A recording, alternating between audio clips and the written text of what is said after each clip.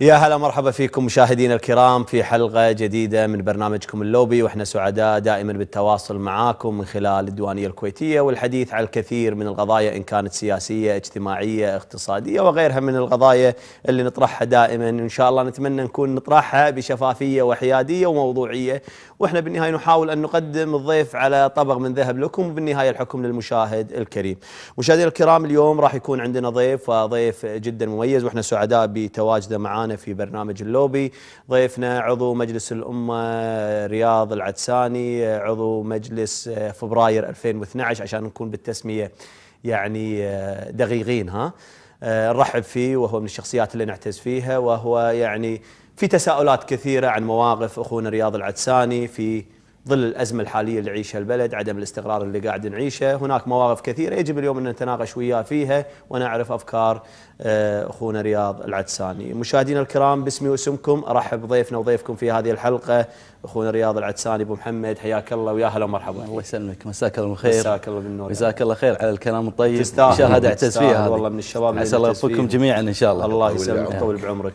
أنا في سالفة أنا في في, في انتخابات فبراير أبو علي 2012 رحت ببارك لأخوي أبو محمد رياض العساني في مغرة الانتخابي. ما شاء الله عنده أخوه توأم. توأم صح تخيل إني أنا ضيعت. بالحين منو فيهم رياض؟ عشان يعني شوية نبارك له أكثر. لكن إن شاء الله كلهم فيهم الخير والبركة. يعني هذا من المواقف اللي صارت مع أخوي في موقف بذكره. اي تفضل أخي رياض. مرة من المرات في إحدى الاستجوابات. أخوي حاضر. نعم. وأنا موجود داخل في المجلس. أخوك أحمد؟ أخوي ناصر. ناصر. أي. فكلمني تالي واحد صادفته وقال لي تعال أنت ليش فترة الاستجواب طول الوقت قاعد؟ قاعد برا. برا. فقلت أنت شفت لي برا ما شفت لي داخل. قلت لا هذا أخوي. ترى الشبه قوي لا مو قاعد كلامك يعني مو طالع ما شافني داخل. يطالع الجمهور شاف أخوي برا مع الجمهور. ومشاري تخيل والله ما يعني سبحان إيه، الله الشبه وايد وايد قوي اللي صار يعني. فيني يوم دخلت أبارك لك إيه. طالع منه نفس- يعني الشبه قوي معاي ها بهالملاحظة. تلقى أكيد صارت مواقف يوم الطفولة والمدرسة. نفس الشيء. أكيد. آه، مشاهدينا الكرام رحب بأخوي الناخذ أبو علي حياك الله يا أبو علي ويا هلا الله يحييك أخوي أحمد وأيضا أحيي أخونا الأستاذ رياض العساني أبو محمد مساك الله بالخير وأحيي. أيضا أبو. مشاري وأحيي مشاهدينا الكرام طبعا أخونا رياض العساني كانت له جولات وصولات عندنا هنا في برنامج اللوبي وما شاء الله عليه يعني أنا للأمانة يعني هذا الشخص الإنسان الشاب النبيل دائما كنت أقول إن شاء الله نتمنى له التوفيق. الله يسلمك. وحتى إن يمكن تذكر أخوي رياض لما جيتنا هني قلنا لك إن شاء الله فالك المجلس وفعلا يعني أنا واحد من الناس من الشباب اللي نعتز فيهم أخونا رياض. الله يسلمك. يعني جزاك الله اتمنى الخير. لك التوفيق. وياك إن شاء الله. لكن يمكن يبدو إن المجلس السابق اللي راح يمكن لعله هو خير إن شاء الله. إن شاء الله. وفي حكي وفي حكي هلا إيه لعله خير أخوي أحمد. الله لأن مرات يقولون مثلاً خير. يعني مرات أنت يكون في شغلة تحب إنه يكون لك خير لكن هو وإحنا رب بالنهاية العباد هو اللي نتمنى إنه. يكون خير لهذا الوطن ولكن يعني. أنا متأكد إن أمثال أخونا رياض العساني وفي كثيرين من الشباب نعم. ما زلنا نتأمل منهم الخير الله يسلمك وما زلنا إحنا نتوقع منهم الكثير الكثير في المستقبل إن شاء الله جزاك الله ألف خير على الكلام الطيب إي والله. الأمانة أنا ما. أقول لك ترى مجاملة الله ثق. بالله حتى لو مرات مثلا نختلف نتبادل بالآراء هذا شيء لكن أمر طبيعي. أنت إنسان بالنسبة لي صراحة أنا أفتخر فيك. الله يسلمك. جزاك الله خير. آه، راس. جزاك الله خير يا أبو علي على هالكلام الطيب. حق أخونا رياض العدسان ويستاهل.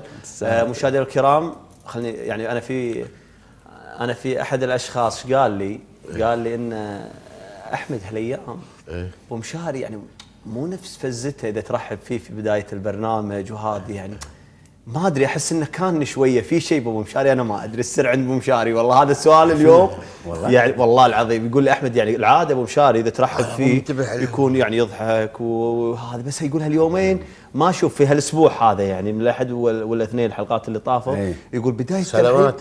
ما أدري أحس انه أبو مشاري شو. السالفة خلي يقول لنا اليوم أنا- جزاك الله خير أحمد والله والله أول العظيم شيء- لا ترى ترى يعني شوف عندي. إيه. ترى المشاهد. ذكي ويلاحظ إيه. ودقيق إيه. الحين قول لنا يلا قول؟ السر أنا. أول شيء أشكر آه، أول شيء أرحب فيك أحمد أخوي الله أخوي يسلمك. وأبو أحمد وجمهورنا الكريم أبو علي آه، أنا أشكر المشا- المشاهد الكريم اللي قاعد يلاحظ حتى ابتساماتنا وحتى هذا لا والله الحمد لله. أنا بنعمه من الله وفضل وسعادة ما بعدها سعادة. الحمد لله. أي والله ما دام الواحد الله معطيه الصحة والعافية والهداية ويصلي بالمسجد وشوف وشوف أمه وشوف كل يوم هذا بعد شبيه. والوالدة موجودة. والله الحمد لله. عسى الله يطول والعافية. شوفها. جزاك- اي بس خلاص. كان متعشين معي بس خلاص ما غديتني اليوم ما عندك مشكلة ترى ساكن معاهم في البيت أنا عشان أكون بالصورة أنا أنا ما سمعت لا. حبيبي لا، لا، ما عندنا لا لا. ماكل الخير أنا ما. سمعت فيديوهات وأطمن. عزيزي المشاهد هذا واقول له إيه. مشكور على ملاحظتك ويحبك أكيد إيه. هاي ملاحظة ما يطلع الواحد إيه، يحبك هنا والله. أقول له مشكور على ملاحظتك ترى الأمور ممتازة وفضل الله سبحانه إحنا عايشين بنعمة وبخير والله أكرمنا بنعم كثيرة. ها؟ الحمد لله. خلقنا وهدانا وأعطانا هالوطن الحلو وهالناس الحلوه بعد والله يا يا الله جعلنا حمد الشاكرين يعني. يا الله إن شاء الله. فأنا بداية البرنامج حبيت. بس اطمنك واطمن المشاهد الكرام، الشيء الثاني عندي رسالتين. قول. الأولى أهني قناة اليوم اليوم على الحكم الصدر بحقها وإعادة ترخيصها وبثها. يستاهل. ويظل الاعلام الكويتي يكون غني بهذه الآراء المتنوعة والفعاليات ونتمنى لهم التوفيق والنجاح. ويستفيدون من التجربة اللي مروا فيها. صحيح،. اثنين أنا آه، في بكرة في مركز تنمية المجتمع في ضاحية صباح الناصر. آه، أسرة الشهيد حمود الس- السعيدي منظمة فعالية بمناسبة العيد الوطني وبمناسبة آه، ندوة بعنوان شهيد الوطن باكر الساعة 10 الصبح في صالة تنمية المجتمع في ضاحية صباح الناصر. وسيكون فيها عدة فعاليات وطنية وكلمات وقصائد وعرض لسيرة الشهداء. أتمنى من أهالي المنطقة وأهالي الشهداء ومحبين هذا الوطن أن يتشاركون مع شكرنا. الشديد ل آه، الشهيد حمود السعيدي نقول لها مشكورة على هذه الجهود آخر شيء خواتنا المتعلمات والمعلمين مبروكين على الحكم صدر اليوم صدر لهم حكم وايد مهم وهي دولة القانون والله دولتنا. ديرتنا فوق الراس مشاري هذا فيه تغري لا تحرق حلو. يلا أحرق يلا، أوكي يلا مشكورين آه، آه، يلا مشكور يا أبو مشاري على الكلام الطيب وتستاهل كل خير يا أبو حبيبي. مشاري وأيضا يعني نتمنى إن شاء الله دائما نكون في خدمة الناس من. خلال. البرنامج هذا يا رب حبيبي والله. آه عندنا اليوم حدث وحدث يعني غد يعني باكر إن شاء الله سيصادف الذكرى السابعة لتولي سمو الشيخ نواف الأحمد الجابر الصباح ولاية العهد آه سمو ولي العهد نقول لك آه، يا أبو فيصل عسى الله يطول بعمرك ويحفظك آمين. آه، لهذا البلد. وأنت يعني آه، نقول دائما يعني متفائلين فيك وبضحكتك الجميلة وبطلتك الجميلة لهذا البلد وعسى الله يطول بعمرك. وألف ألف مبروك يعني للسنة. وإن شاء الله سنوات وسنوات بإذن الله تعالى خلونا نشوف هذا التقرير عن سمو العهد ونرجع لكم.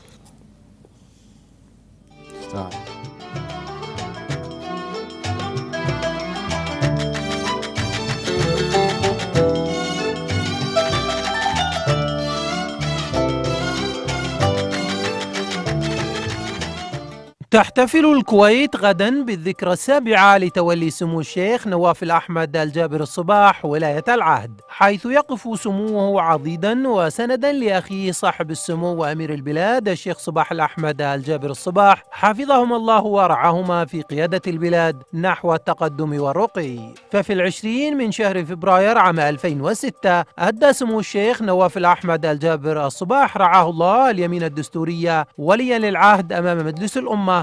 الذي بايعه بالإجماع. جاء ذلك بعد أن أصدر سمو أمير البلاد. حفظه الله ورعاه أمرا أميريا في السابع من فبراير عام 2006 بتزكية سمو الشيخ نواف الأحمد لولاية العهد نظرا إلى ما عاهده في سموه من صلاح وجدارة وكفاءة تؤهله لتولي هذا المنصب.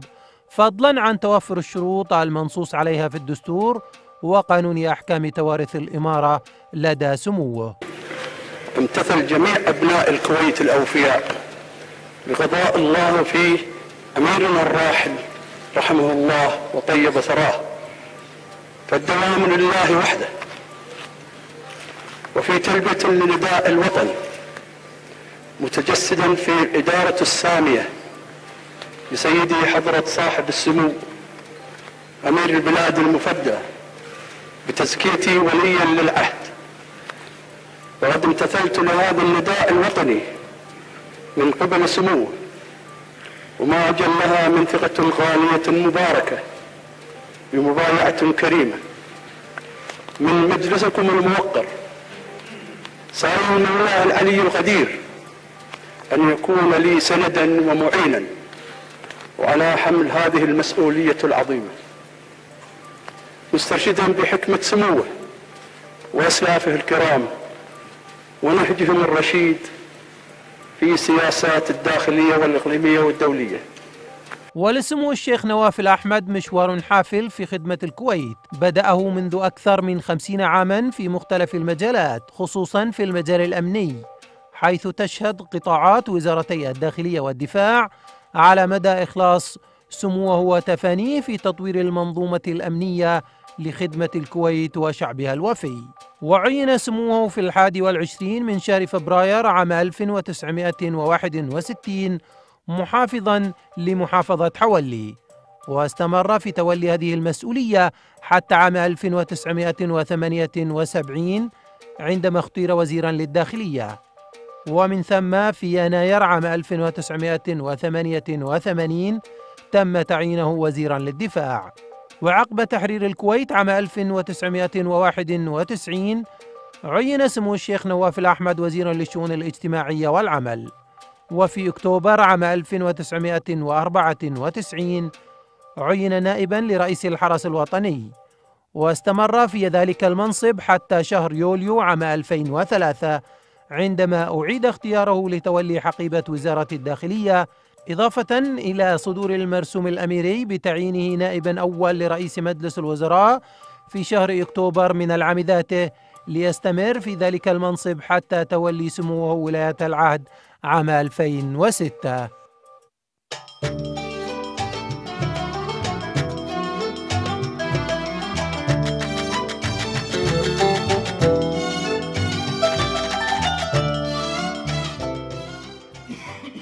رجعنا لكم مشاهدينا الكرام وما زلنا معاكم على الهواء مباشرة. وشفتوا هذا التقرير عن الذكرى السابعة باكر آه، لتولي سمو الشيخ نواف الأحمد الجابر الصباح ولاية العهد. ونقول العمر الطويل لسمو ولي العهد أبو فيصل. أبو علي إيش تعلق في هذه المناسبة؟ يعني إحنا طبعا نهنئ سمو ولي العهد الشيخ نواف الأحمد الصباح. عسى الله يحفظه ويطول بعمره في هذه المناسبة. وهو طبعا لما يتولى ولاية العهد فهو أخذ ثقة الشعب الكويتي وأيضا ثقة صاحب السمو الأمير عسى الله يحفظه ويطول بعمره. يعني إحنا نتكلم بمختصر شديد جدا لأن هم بعطي مجال لبقية الإخوان يعني سمو ولي العهد عسى الله يحفظه الشيخ نواف الأحمد آه، يعني شفناه أنه تدرج في كثير من المناصب السياسية والمناصب القيادية وأيضا كان له بصمات كبيرة في حتى في المجال الرياضي وحتى في المجال الاجتماعي وفي مجالات كثيرة متنوعة مو بس في المجال السياسي. أنا أعتقد إن آه، سمو ولي العهد الشيخ نواف الأحمد عسى الله يحفظه ويطول بعمره يعني هو فعلا يعني خلينا نقول ال- ال- الذي يستحق هذه الولاية والذي يستحق أن يأخذ رأي راية الكويت إلى المسار التقدمي إن شاء الله بعد عمر طويل لجميع شيوخنا. عسى الله يحفظهم عسى الله ويطول يطول باعمارهم يا رب. شكرا أبو علي. آه، أبو محمد رياض في الذكرى السابعة لتولي سمو الشيخ نواف ولاية العهد. آه، بداية يعني بسم الله الرحمن الرحيم. وعسى الله يحفظ سمو الأمير سمو ولي العهد معروف الشيخ نواف في تواضعه وحسن التعامل. وإن شاء الله يحفظ الكويت من كل مكروه إن شاء الله. يعني في مناسبة أيضا 25 و 26 فبراير. نعم. نتمنى أن نتطلع لأمور أفضل إن شاء بإذن الله. الله تعالى. أبو مشاري؟ والله آه، يعني هني أنفسنا وهني الكويت بهذه الذكرى والشيخ نواف طول الله عمره يعني اختيار رائع جدا من حضرة صاحب السمو الصراحة. والشعب الكويتي والله إن لما صدر ال- الأمر باختياره والله إن فرق كانت فرحته كبيرة جدا صراحة. والله يعلم ما في القلوب وأتمنى اليوم قبل باكر إن شاء الله إحنا إحنا إحنا نقول هذه ال- ال- الروح الكويتية الحلوة في تواضعها وتوا... والله نموذج رائع للإنسان الكويتي قبل يكون ابن الأسرة. يعني نفتخر فيك ككويتيين يعني بغض النظر إنه عهدنا و- وهذا عراسنا أو إنه ابن الأسرة. إحنا كم... هذا النموذج الكويتي النبي صراحة. صحيح. وبالك من الأسرة الحاكمة. هذا النماذج اللي ترفع الراس الوطن كله صراحة. صحيح. فطول الله في عمرك وخلاك ذخر الوطن هذا والناس ما تستغني عن تواصلك. ولا نسأل الله لك التوفيق والصحة والعافية. نعم.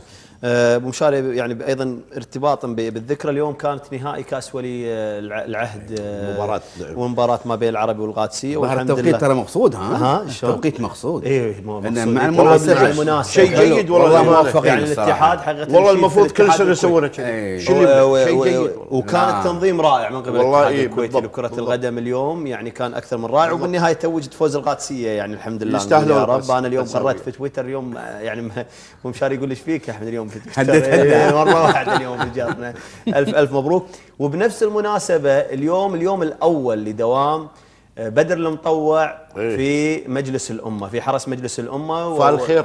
يعني وكان هذا حتى اليوم بدر كان مزاجه مثل ما يقولون عال العال.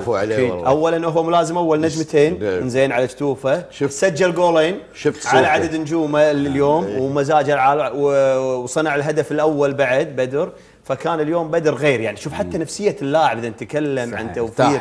ارتاح. اللاعب رد وظيفة. يقولون أحمد حتى الصورة اللي انتشرت يعني أثرت وايد وشجعت حتى الفريق وحتى. بدر. الصورة موجودة و- واقوال بدر خل موجودة. نشوف. خلينا نشوف التقرير ونرجع. عليك والله يا أحمد.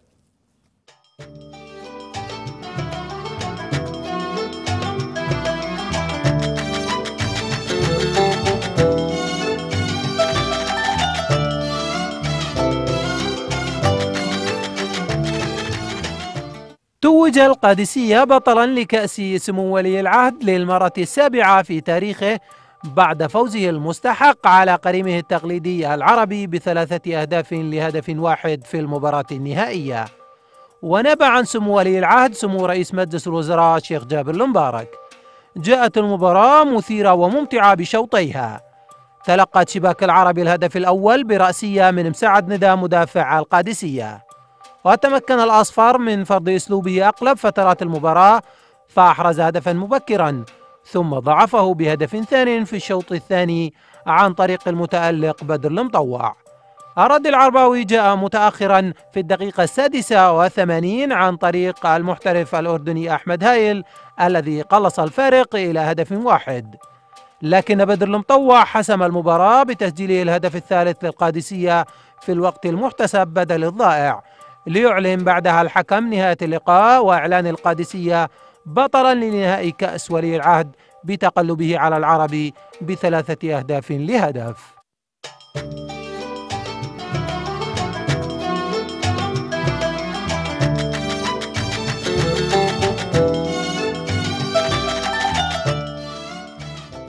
رجعنا لكم مشاهدينا الكرام. شفت هذا التقرير يعني آه، نقول ألف ألف مبروك لنادي الغادسيه وإن شاء الله مثل ما يقولون عقبال الدوري إن شاء الله. لا يزعلون منا الكويتاوية والعرباوية بإذن الله تعالى يا رب. أمنيات. إنه يتحقق. لا إن شاء الله يتحقق بإذن الله تعالى. سبع نقاط مو وايد يعني. آه، أبو علي شو تقول؟ يعني أنا اولا بداية نهنئ القساويين كلهم لاعبين أبو علي إحنا ما. عرفنا لك. قد تساوي ولا عرباوي؟ أنا نايب عرباوي. عرباوي يعني. بس عرباوي. روح ارضيه روح ارضيه لكن يعني هو بالنهاية لو ما في القادسيه راح لو ما في العربي بشجع القادسيه آه، حبيبي. زين آه، لكن يعني مثل ما قلت نهنئ نادي القادسيه جميعا بدون أي شو اسمه لاعبين إداريين كلهم يستاهلون الحقيقة. حتى أخوي أبو سعد اليوم مر قاعد هو هناك في الرياض وقاعد يتحرش فيني. هم مبروك يا أبو سعد. زين. لكن هم أيضا نهنئ طالما إحنا في مناسبة ولاية عهد الشيخ نواف الاحمد الصباح هم نه- نهنئ الشيخ نواف. للأمانة إنه هو الرئيس الفخري لنادي القادسية. للنادي القادسية وأيضا صادفت إن صارت المناسبة بمناسبة ولاية عهده. وأيضا في من المصادفات إن الشيخ نواف عسى الله يحفظه واحد من عياله كان عرباوي واحد كان قدساوي. الشيخ أحمد في العربي الشيخ فيصل في القادسية. يعني هذه بالنهاية روح الكويت روح أهل الكويت وهذه شيء يعني إحنا صراحة دائما اللي نعتز فيه الأمور هذه. ومبروكين يا القدساويه وهردك يا العربي. كل واحد يا حمد خشاوي إن شاء الله. أنا بشوف أنا عارف حامد خشاوي إن شاء الله مرة إيه، لا إيه، حبيبنا ما نشوف. له واتساباته إيه، لا، إيه، لا خلاص آه، أبو محمد غتساوي أنا أنا أشوفك تتابع أيام آه، كأس الخليج كانت لك بعض الآراء عن المنتخب وغيره وهذا. تشجع اي نادي. أنا كويتاوي. كويت أنت الحلو. اي ماشيين بالدوري. اي هم إن شاء الله إن شاء الله ناخذ منهم إن شاء الله بإذن الله تعالى والله أنا أقول ألف مبروك حق نادي القادسية. نعم. ويعني للأسف أنت تشوف الحين القلعة الصفراء والقلعة الخضراء. صحيح. أكبر جمهورين موجودين. يعني قالوا بيفتتحون استاد جابر. زين وين استاد جابر؟ المدرج نادي الكويت ما يشيل ما يشيل. إيه، أكثر من يشيل، 22 ألف متفرج. استاد جابر 67 ألف. صحيح. وقالوا في فبراير راح يفتتحون الملعب. يفترض يعني إنه فاتحين الملعب لأن أنا أدري إن أكثر من هذا دبل هالجمهور كان وده يحضر هالمباراة هذه. نعم، صحيح. الحمد لله شفت الجمهور مليان.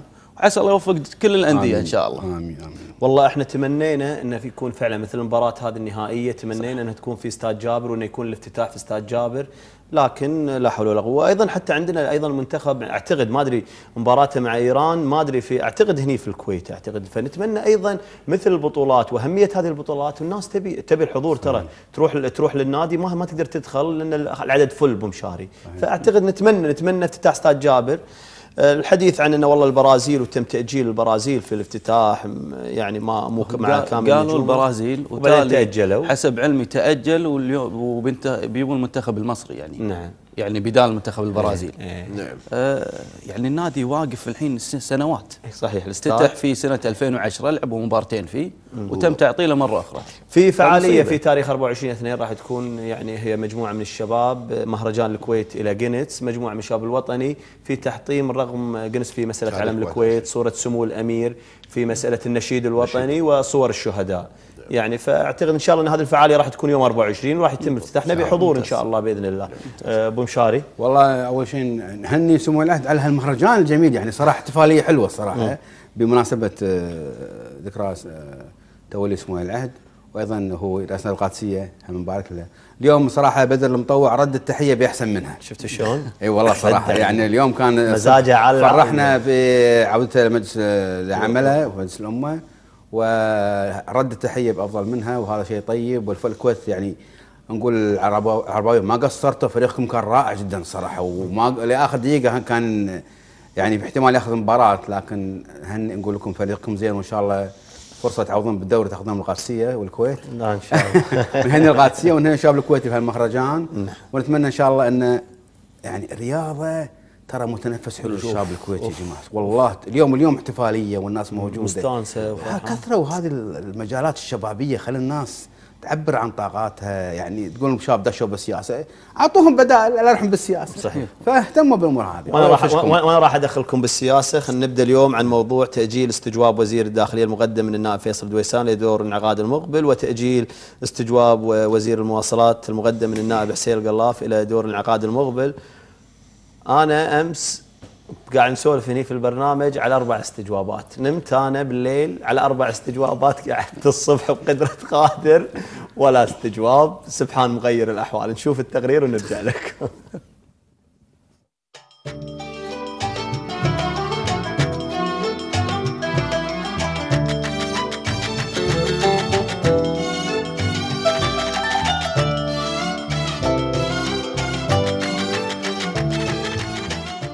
قال رئيس الوزراء الشيخ جابر المبارك أشكر مجلس الأمة على القرار الصائب الذي اتخذه وعلينا أن نلتفت للبلد وهموم المواطنين والتفرق للبناء. المشكلة ليست في الاستجوابات بل في توقيتها. فقد تدخلنا هذه الاستجوابات في نفق مظلم في ظل أننا نحتاج إلى الإنجاز. جاء ذلك نتيجة موافقة مجلس الأمة على تأجيل استجواب وزير الداخلية المقدم من النائب فيصل دويسان إلى دور الانعقاد المقبل بموافقة 39 عضوا وعدم موافقة 29 وامتناع عضو واحد. إضافة إلى موافقة المجلس على طلب تأجيل استجواب وزير المواصلات المقدم من النائب حسين القلاف إلى دور الانعقاد المقبل بغالبية 37 صوتا ورفض 23 وامتناع اثنان. النائب فيصل دويسان قال أن الطلب الحكومي للتأجيل أسبوعين منطقي لكن تأجيله إلى الدور المقبل يدل على أن هناك شيئا مريبا يراد إخفاؤه. من جانبه أوضح النائب حسين القلاف أنه قدم الاستجواب لوجود قضيتين لم يستطع تحملهما أمام الله شرعا. أحدهما أرواح بشر والثانية أرزاق بشر. مضيفا أنه إذا سكتنا عن القضية فمعنى ذلك أن أي كارثة جوية تحدث تكون في رقابنا جميعا. وفي رد الوزير سالم الإذينة قال الأخ حسين القلاف لم يفاتحني في موضوع الأرواح وأرزاق البشر إلا من خلال الأسئلة ويشهد الله أنني لم أقصر في حق هذا البلد. توقعنا أن تطلب الحكومة التأجيل لمدة أسبوعين ثم تكررها بأسبوعين آخرين وتتدرج حسب المادة 135 من اللائحة الداخلية لكن ما ذهبت إليه أبعد مما كنا نتوقع. وبالتالي إذا كان هناك نوع من الاتفاق أو العرف بيننا وبين بعض الزملاء وبين الأطراف الحكومية بأن تؤجل الاستجواب إلى ما بعد أربعة شهور أو ستة أشهر فإن ما ذهبت إليه الحكومة أكبر من الاتفاق وخالف حتى الاتفاق مع النواب. تقدمت الحكومة بطلب تأجيل استجواب معالي وزير المواصلات ووزير الدولة لشؤون الإسكان. تمت الموافقة على طلب الحكومة لتأجيل الاستجواب لدور الانعقاد القادم السبب اللي خلى النواب اللي الزملاء اللي مثلي وافقوا على طلب الحكومة هو سبب بسيط. بعدما تكلم الوزير وعرض رأيه في الاستجواب وما قام به من أمور إجرائية وإصلاحية لإصلاح متطلبات النائب الفاضل السيد حسين القلاف وجدنا أن معالي الوزير قام بما يمكن القيام به في الفترة القصيرة وقد تعهد أمام المجلس بأن يقوم بإصلاح ما تبقى من أمور إجرائية واللي نبه عليها مشكورا النائب الفاضل حسين القلاف سابقة آه، خطيرة وسيئة. نعم آه، نتفق بأن توقيت الاستجواب غير غير آه، غير آه، ملائم أو ما في آه، موائمة سياسية. آه، وأيضا نتفق بأن للوزير الحق في طلب التأجيل لكن أن نأتي وطبعا نحن متفقون أيضا في حق النائب في الاستجواب على الرغم من عدم قبولنا أو عدم موافقتنا على التوقيت وعدم موافقتنا على التأجيل أو أو على عدم مواقف- موا- موافقتنا على التوقيت وموافقتنا على التأجيل إلا أن نؤكد من حق النائب أن يستجوب. الواقع العملي هو أن الاستجواب لما ينجح يتجير حق المقدمة لما يفشل يعم على المجلس كله. ومن هذا المنطق كان المفروض أن أي واحد يريد أن يقدم استجواب أن يستأنس.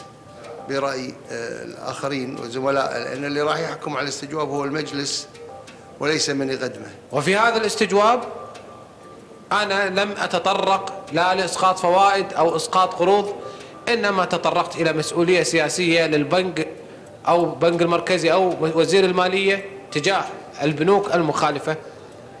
وطالبت بأن يتم تطبيق القانون ولم يطبق القانون ورأيت أن هنا تقام المسؤولية السياسية على الوزير. الاستجواب اللي كان قبل الأخ آه، وزير المواصلات كان استجواب مج- مجهل والاستجواب الآخر يكفي أن في أحد محاورة ما في دليل مادي ملموس يؤكد هذا الموضوع.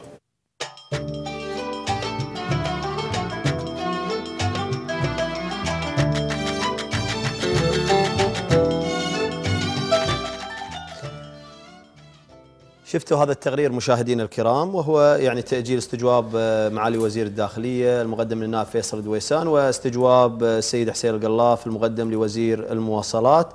وفي يعني البعض يتحدث عن دور المجلس إن إن والله المجلس يجب أن يكون دوره أكبر. يعني وهذا استجواب حق النائب لماذا هذا التأجيل لدور الانعقاد؟ البعض قال إن هذا من باب التعاون حتى أن يتم الإنجاز وإعطاء الحكومة فرصة أكبر. هناك الكثير من التساؤلات اليوم. يعني ما شاء الله أول بأول أبو محمد آه، أخونا رياض العدساني قال تصريح قال المجلس هو من طلب تأجيل آه، الاستجوابات علما أن الوزير لم يحضر ولا حتى طلب تأجيله فعلا الحكومة تقود المجلس. ليش قلت هذا التصريح يا أبو محمد؟ والله أنا ترى من زمان قايل إذا قايل. الحكومة انفردت بتشريع قانون الانتخابات سوف تقود المجلس وهذا اللي حصل. أي. إحنا خلينا ناخذها واحدة واحدة. مادة 100 من الدستور يستطيع النائب يقدم الاستجواب منفردا وبحد أقصى هي ثلاث نواب. نعم. ويدرج بعد ثمانية أيام أنه يناقش رسمي يناقش. اللي حصل هم استندوا على اللائحة الداخلية 135 لحق الوزير يأجل أسبوعين. ولكن بتصويت المجلس ممكن يأجلون أكثر من ذلك. نعم. لكن أين وزير الداخلية؟ وزير الداخلية ما حضر. برا الكويت. نعم. وهل يعقل يعني المجلس وهو نفسه يمثل الحكومة؟ دائما يقول لك وين حكومة الظل؟ الظاهر مجلسه هو حكومة الظل. وهو بنفسه أجل الاستجواب من غير لا الوزير يطلب ولا ردا على النواب. على الأقل احتراما حق الأخ المستجوب. يقول رأيه وين الوزير؟ دائما كانوا يقارنونه في المجلس الحالي مع المجلس المبطل. قالوا كاستجواب الدكتور عبيد الوسمي أيضا أجل. نعم. هذا وضع مختلف تماما. ما دخلنا في تصويت. آه، الأغلبية صحيح. اتفقوا مع الدكتور عبيد إنه يسحب- يسحب صحيح. فاتفاق بينهم صار أي. يعني هذا أمر مختلف ولكن أدخل تصويت وأجل استجواب سيد القلاف الوزير المواصلات نعم. واستجواب فيصل الأخ الف- الويسان ضد رغبتهم إيه، ضد رغبة فيصل. المستجوبين ترى ها ضد رغبة المستجوبين اي صحيح فهذا أمر ما يعني حصل حتى الصراحة حتى من كان سيد قبل حسين زعلان اليوم يعني في تصريحه وصارت مشادة ما بينه وبين خلف دميثير يعني أنت الآن تصف من ما حدث في جلسة اليوم إن الحكومة هي من تقود المجلس وإن يعني- المجلس لا حول ولا قوة. يعني أنا بعطي مثال في مجلس 2009 حصلت أي. الحادثه من قبل ولكن كان أمر مستنكر. لما قالوا والله المجلس هذا لا مخالب ومجلس هذا سوف يراقب ويشرع إحنا نقول يمكن يشرع ولكن يراقب استثنية هذه ما راح يراقب. المجلس اي الحالي وين بيراقب؟ مجرد ما أعلن الاستجواب الاستجواب عبارة عن سؤال مغلظ فالوزير خليه يصعد ويفند الأمور. أنا شنو اللي استغربت منه؟ الحين المجلس أجل الاستجواب. يعني أنتم ما تبون طرح ثقة. نعم. يا أخي خلي يصعد الوزير ويفند محاور الاستجواب. لا تطرحون ثقة فيه. ليش تأجلونه؟ شو الهدف منه؟ صحيح. فالمجلس أنا أقول لك جدا ضعيف ومرة من المرات وصفته كأنه مجلس شورى. إنه مجرد لك نفس الهايد بارك فترة خمس دقائق تقول اللي عندك وكان الله غفور رحيم وتوكل على الله. غير هالشيء ما عندك. وهذا ما حصل اليوم. دليل ليش ما. اعتبرت هذا أبو محمد إنه من باب التعاون وإن اليوم البلد وضع على هذا المجلس مرحلة إنجاز؟ يعني البعض هم حتى في في ندواتهم الانتخابية وفي البرامج وغيره قالوا إحنا نبحث عن الإنجاز ما نبي نبحث عن استجواب ما نبي نبحث عن الناطور نبحث عن العنب. فيقول الهدف إن نعطي الحكومة فرصة حتى يكون هناك إنجاز والناس اليوم محتاجة منه كمجلس حالي إنجاز. ليش ما أخذتها من من يعني بهذا الجانب بالح- يعني على قولتهم بالجانب الإيجابي ترى الحكومة دائما تقول إن المجلس هو من يعطل عجلة التنمية من الأمور هذه. خلينا ناخذها واحدة واحدة، قالوا معارضة اليوم غير عن معارضة الأمس. عجلة التطوير واقفة ربع قرن 25 سنة. خلينا ناخذ معارضة السابق يعني سنة 92. أيضا ما صار في إنجاز ليه عندك اليوم تقريبا 21 سنة ما شفنا إلا إعادة افتتاح برج التحرير والساد جابر المعطل، غير هالانجازين ما في. هذا صحيح. النقطة اللي هم من هذا كله. تم إبطال المجلس في 20 6 2012 حتى تاريخ اليوم قالوا الحكومة في قرارات شعبية وأمور تنموية. وينها؟ ماكو شيء. نروح الناحية الأخرى. المجلس إذا كان فعلا بس محمد يعني في هذا الجانب انت وحتى كمجلس مبطل إيش قلتوا؟ قلتوا إحنا يعني من فبراير لشهر ستة ما ما أخذنا الفرصة، هم حتى ما صار لهم ثلاثة أشهر يعني. أيضا يعني الإنجازات ما يصير أيضا تطبخ بشكل سريع أقل من ثلاثة أشهر. لا شوف محمد. ثق بالله أنا ما قلتها إيه. وقلت الأربع أشهر بالنسبة لي كافية ولا ألتمس العذر حق نفسي. آه خوش كلام. والمشاريع اللي قدمناها اللي هي طبعا القوانين قانون كسر الاحتكار قانون جامعة جابر بالإضافة إلى البعثات الدراسية واللي هو المشاريع الصغيرة والمتوسطة. نروح المجلس الحالي. بس يقول ابو محمد هذه المشاريع كانت جاهزة في المجالس لا، لا، السابقة ف- وطلعتوها من الأدراج وصوتوا لا اللي. كانت جاهزة قانون المناقصات. نعم وعدلنا فيه والمداولة الأولى طبعا أقرناه يبقى المداولة الثانية وتم إبطاله.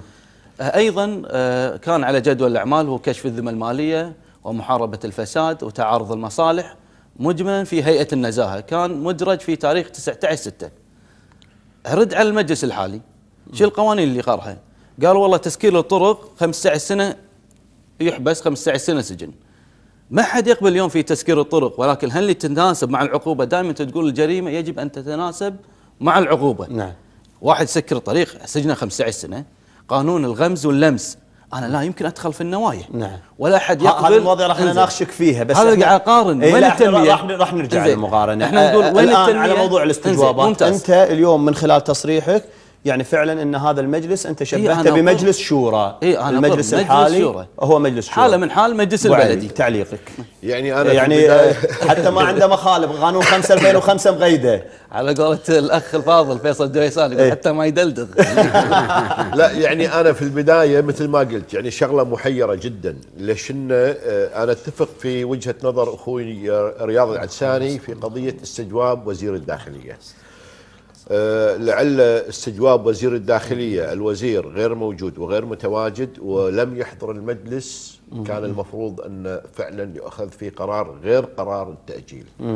ليش إن الآن كأن في صار في نزع لحق النائب اللي قدم الاستجواب رغم أنفه وكأن قلنا له غصبا عليك هذا الاستجواب نبي نأجله.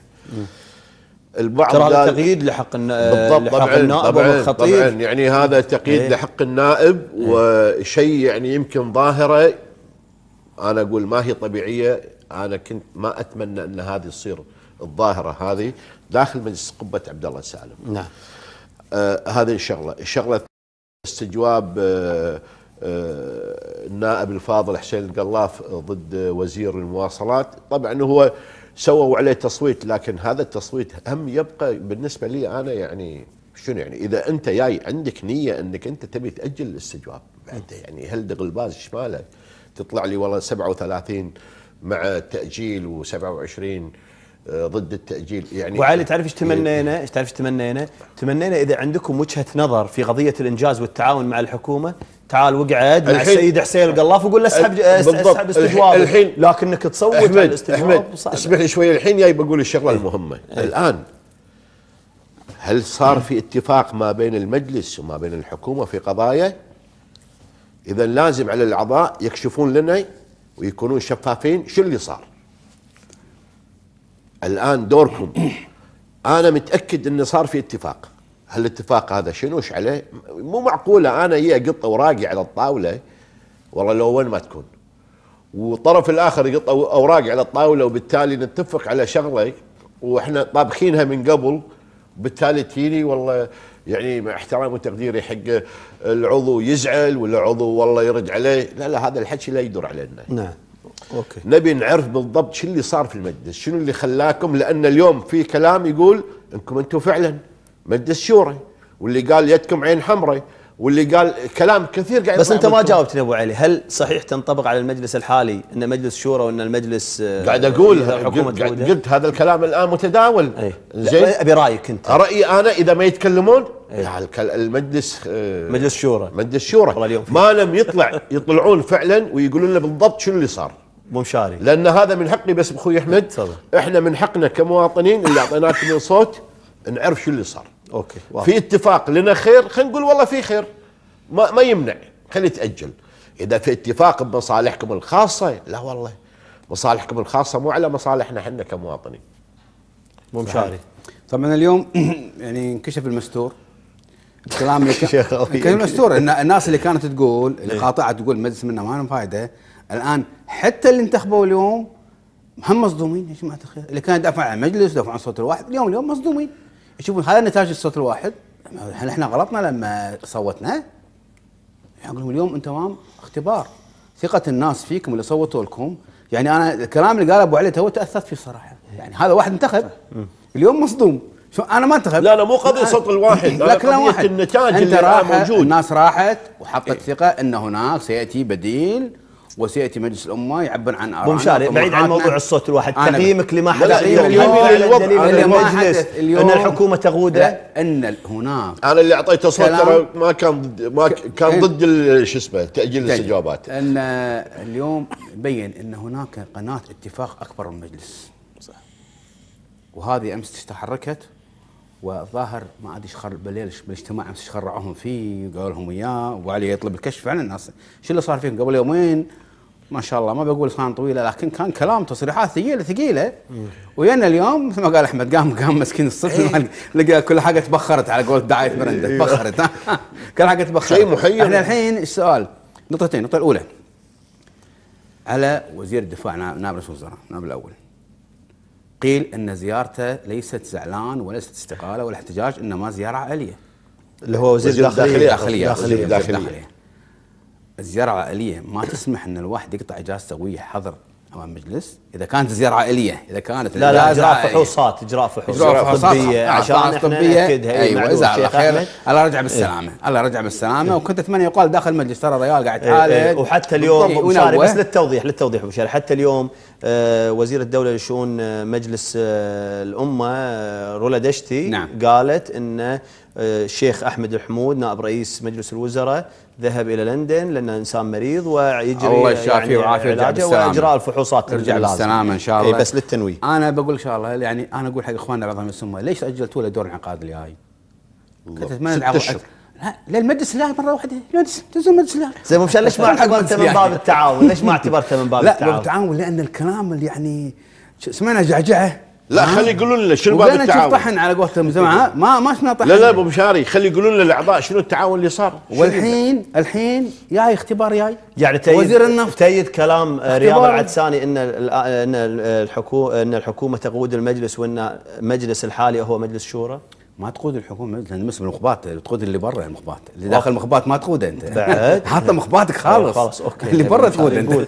آه خلونا نشوف مشاهدينا الكرام بشكل سريع تعليق أيضا عن آه، تصريح رئيس مجلس الوزراء بإصدار أوامره بالتوقف عن تسريح العسكريين الخليجيين والبدون من الخدمة لابد أن نشكر يعني سمو رئيس مجلس الوزراء الشيخ جابر المبارك أبو صباح على هذه البادرة الأبوية يعني بعدم تسريحهم والتمديد لهم. وأيضا لابد أن نشكر لاخواننا في لجنة الداخلية والدفاع أخونا عسكر العنزي وأيضا الإخوان الآخرين خالد شليمي ومجموعة من النواب اللي سعوا في الخير في هذه المسألة لأن وراها أسر وعوائل وارتباطات والناس هذول قدموا أيضا الكثير لهذا الوطن. نشوف التقرير ونرجع لكم.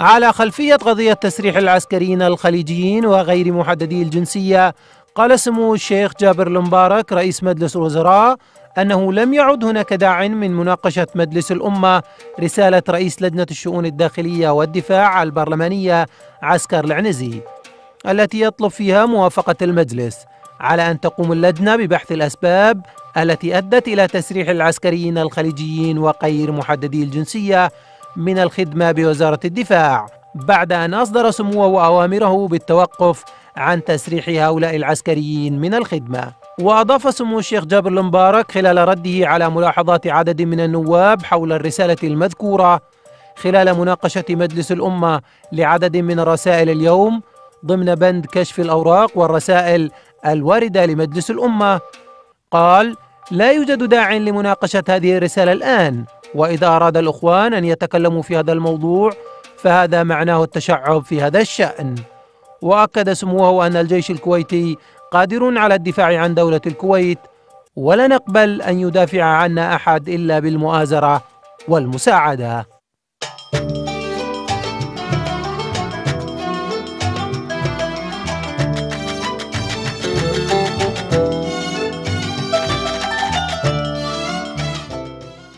رجعنا لكم مشاهدين الكرام وما زلنا معاكم على الهواء مباشرة. وشفتوا هذا الت- التصريح رئيس مجلس الوزراء بإصدار أوامر بالتوقف عن تسريح العسكريين الخليجيين والبدون من الخدمة وهذا الخبر إن شاء الله أكيد يعني 100% إن شاء الله تم توقيفهم. وهذه بادرة طيبة من سمو رئيس مجلس الوزراء ويجب الإشادة في سمو رئيس مجلس الوزراء. عندما ننتقد الحكومة لكن اليوم أيضا هذه يجب أن نشيد يعني في في يعني يعني يعني النظرة الإنسانية في هذا الجانب. أبو علي بشكل سريع. يعني مثل ما علقنا يمكن البارح أخوي إيه. أحمد وفعلا يعني إحنا نقول مرة ثانية جزاك الله خير يا سمو الشيخ جابر المبارك على هالمبادرة وجزاك الله الف خير وإن شاء الله بميزان حسناتك. أنت أيضا وأيضا معاك إخوانك أعضاء مجلس الأمة من ضمنهم الأخ عسكر العنزي والأخ خالد الشليمي والإخوان الثانيين.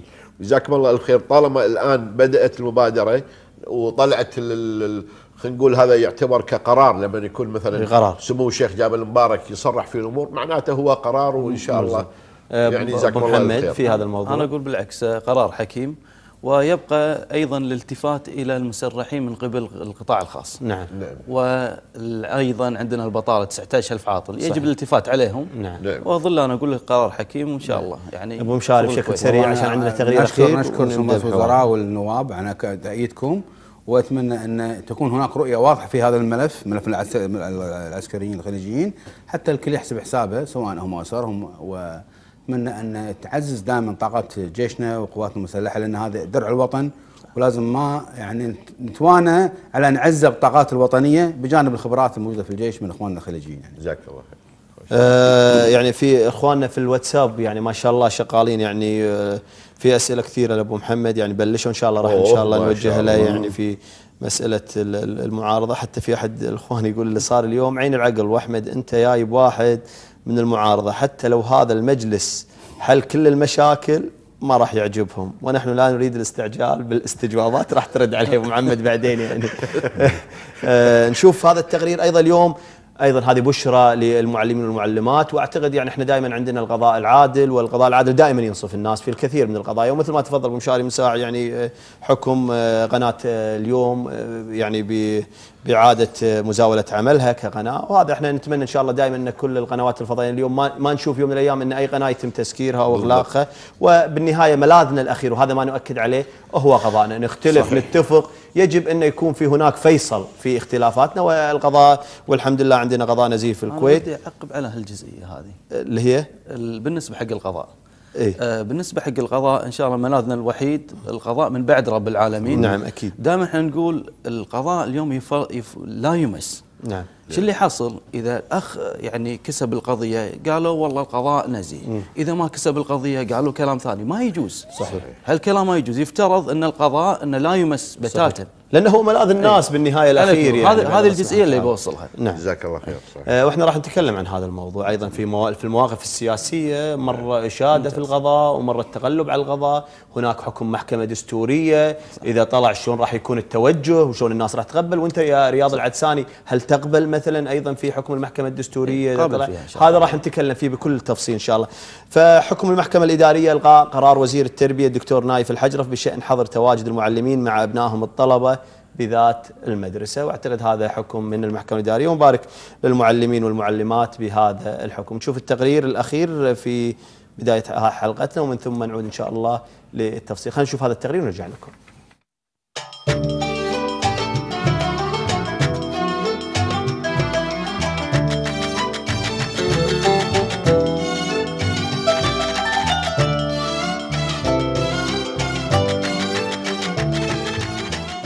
بحكم هو الأول من نوعه بالمحاكم الكويتية ألقت المحكمة الإدارية اليوم قرار وزير التربية الدكتور نايف الحجرف بشأن حظر تواجد المعلمين مع أبنائهم الطلبة بذات المدرسة. يذكر أن قرار وزير التربية نايف الحجرف الذي أصدره قبل قرابة الستة أشهر كان قد أثار ضجة كبيرة بين أولياء الأمور حيث قضى القرار بعزل طلبة أبناء العاملين بمدارس التعليم العام من هيئات إشرافية وتعليمية وإدارية عن نفس المدرسة مع أولياء أمورهم مع استثناء أولياء أمور الطلبة المعاقين بالإعاقات الشديدة والمتوسطة. وقد طبق القرار بالفعل مع بداية العام الدراسي الحالي. الجدير بالذكر أن المادة الثالثة عشر من الدستور نصت على أن التعليم ركن أساسي لتقدم المجتمع وتكفله الدولة وترعاه مما يدل على أن صدور هذا القرار الإداري يؤثر سلبا على المعلم والطالب بنفس الوقت من توافر بيئة تعليمية مناسبة وصالحة لتطوير المعلم والطالب بنفس الوقت.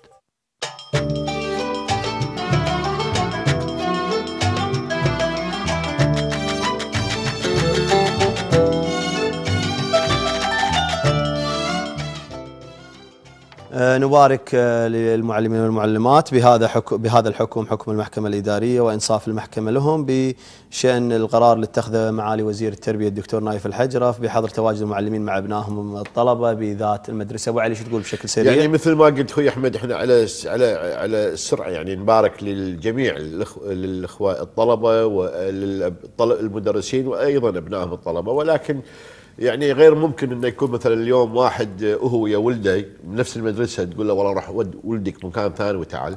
الآن كل من يسيء ممكن أنت تحاسبه وتعاقبه ولكن إنك تضع أنت العقاب قبل لا تصير القضية هذه أعتقد ما كان صحيح يعني صحيح قرار. ويعني وفيها وفيها نوع من تشكيك في في طبعا في, في يعني أمانة احترامنا وتقديرنا طبعا لقرار الوزير صحيح. يعني معالي الوزير ولكن لعلهم في ناس من خلينا نقول مسؤولين عطوها القرار أو هال هالفكرة هذه ولكن صحيح. ما كان قرار صائب إنه مو معقولة تحط العقاب نعم. على الجميع قبل لا يكون في حدث يكون في صحيح حدث واحد. آه، أبو محمد أنا بارك حق المعلمين والمعلمات والأخوة الطالبات والطلبة طبعا مو معقول إنه يكون مدرس ولده ياخذه مدرسة ثانية وهو يداوم في مدرسة نفس أخرى المدرسة. و- إيه، يفترض إنه في نفس المدرسة وإحنا نحسن النية صحيح. إذا كان هناك خطأ المفروض ان تحاسب المعلم صحيح. كما حط العقوبة قبل أن تكون فيها العقوبة أساسا أو تكون فيها خلل اي لذلك إحنا نقول بالعكس آه، انه كان آه، قرار صائب من من المحكمة انه أبطال قرار الوزير يعني. نعم. أبو مشاري؟ والله نقول آه، أنا هني الكويت أنا مفخرة صراحة انه كموظف يرفع قضية على الوزير ويكسب قضية على الوزير في قضية مثل هذه لها بعد اجتماعي. أعتقد هذا يعني صورة مشرقة لهذا الوطن بأن في ضمانات لأخذ الحقوق والإبداء الآراء يعني في القضية هذه وفي جهة تفصل بين الجميع. وأعتقد أن الوزير الحجرف هو أفضل إنسان بمستواه التعليمي الراقي نعم، يتفهم في- هذا القرار وأن الأبعاد أسرية. والكرة الآن في في ملعب المعلمين والمعلمات يثبتون أن هذا التأييد في محلة.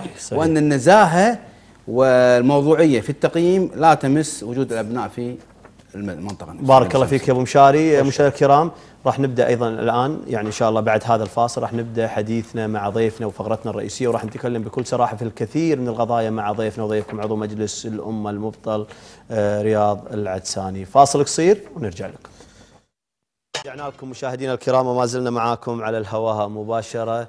وضيفنا في هذه الحلقة عضو مجلس الأمة المبطل 2012 فبراير 2012 رياض العدساني. حياك الله أبو محمد ويا هلا مرحبا فيك. يسلمك. مرة أخرى وإحنا راح نبدأ حديثنا. بس قبل لا نبدأ يعني واحد يقول لي أخوي أحمد شلونك؟ آه، أخوك فايز بطلال. أنت تعرفني أنا حكومي بحت. يعني ما أنا مع الحكومة غلبا وغالبا. بس رياض الحكومة. العدساني أفضل عضو معارض. ولو أنا عنده كان أعطيته الص- يعني صوتي وأنا أحترم هالشخص. الله يسلمك. اي فايز بطلال. هذا طرش جزاه الله فيشيد فيك. شكر منه. جزاه الله الخير. آه خلينا نرجع إلى موضوع يعني حلقتنا وبداية حلقتنا. أبو محمد الحديث عن ما حدث في مسألة الصوت الواحد. والحديث عن الصوت الواحد البعض قال إنه وين المشكلة في الصوت الواحد؟ هل هو هل هي المشكلة مشكلة قانونية أم مشكلة سياسية؟ أنت وين تشوف هالمشكلة؟ آه، طبعا هو مو مشكلة بالصوت الواحد. مم. إحنا تمسكنا في المادة 79 من الدستور لا يصدر قانون إلا من خلال مجلس الأمة ويصدق عليه سمو الأمير. نعم. إحنا نقول أين الضرورة في الموضوع؟ صح سمو الأمير هو من يقدر الضرورة. ولكن إحنا لجأنا للمحكمة الدستورية. نعم. البعض شو يقول؟ يقول هل أنتم مشكلتكم الصوت الواحد؟ إحنا ما عندنا مشكلة لو تم اقرار الصوت الواحد من خلال مجلس الأمة. يعني نفس قانون خمس دوائر وأربع أصوات أتت الحكومة بالمشروع والمجلس صادق عليه والمحكمة الدستورية حصنت القانون. فمن باب أولى أن تقر خمس دوائر وأربع أصوات ومن ثم يصير تعديل الانتخابات. اللي حصل يعني يقول لك كل دول العالم صوت واحد. أمر مختلف تماما. كل دول العالم تصوت حق واحد ينجح واحد. أو تصوت حق قوائم نسبية. هو قانون نظام الأحزاب. ولكن بالكويت ما في نظام في العالم طلع لي صوت حق واحد وينجحون عشرة. صحيح. ما تصير. صحيح. بعدين أنا قبل كنت ناخب أصوت حق أربعة. وينفرضون علي ستة في دائرتي لأن اجماليا عشرة ينجحون. اليوم أنا اصوت حق واحد وتسعة ما صوت لهم ينفرضون علي.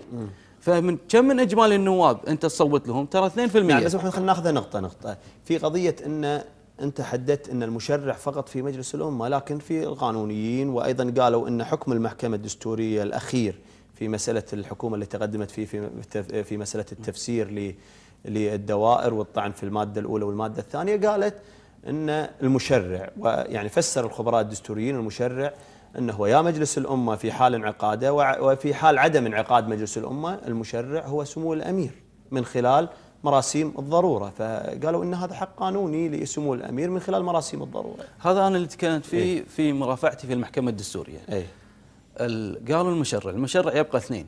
يا أما المشرع اللي هو عضو مجلس الأمة أو الحكومة لانها تعتبر أيضا عضو في البرلمان. نعم. أو سمو الأمير في حالة وجود الضرورة. نعم. إحنا خلينا ناخذها واحدة واحدة. تم حل مجلس 2009 بعد ما عاد من المحكمة الدستورية 7 10 2012 والحكومة أعلنت رسمي برفع قانون الانتخابات الصوت الواحد في 20 10 2012 شو اللي حصل في خلال ال 13 يوم؟ أمر طارئ لا يحتمل التأخير.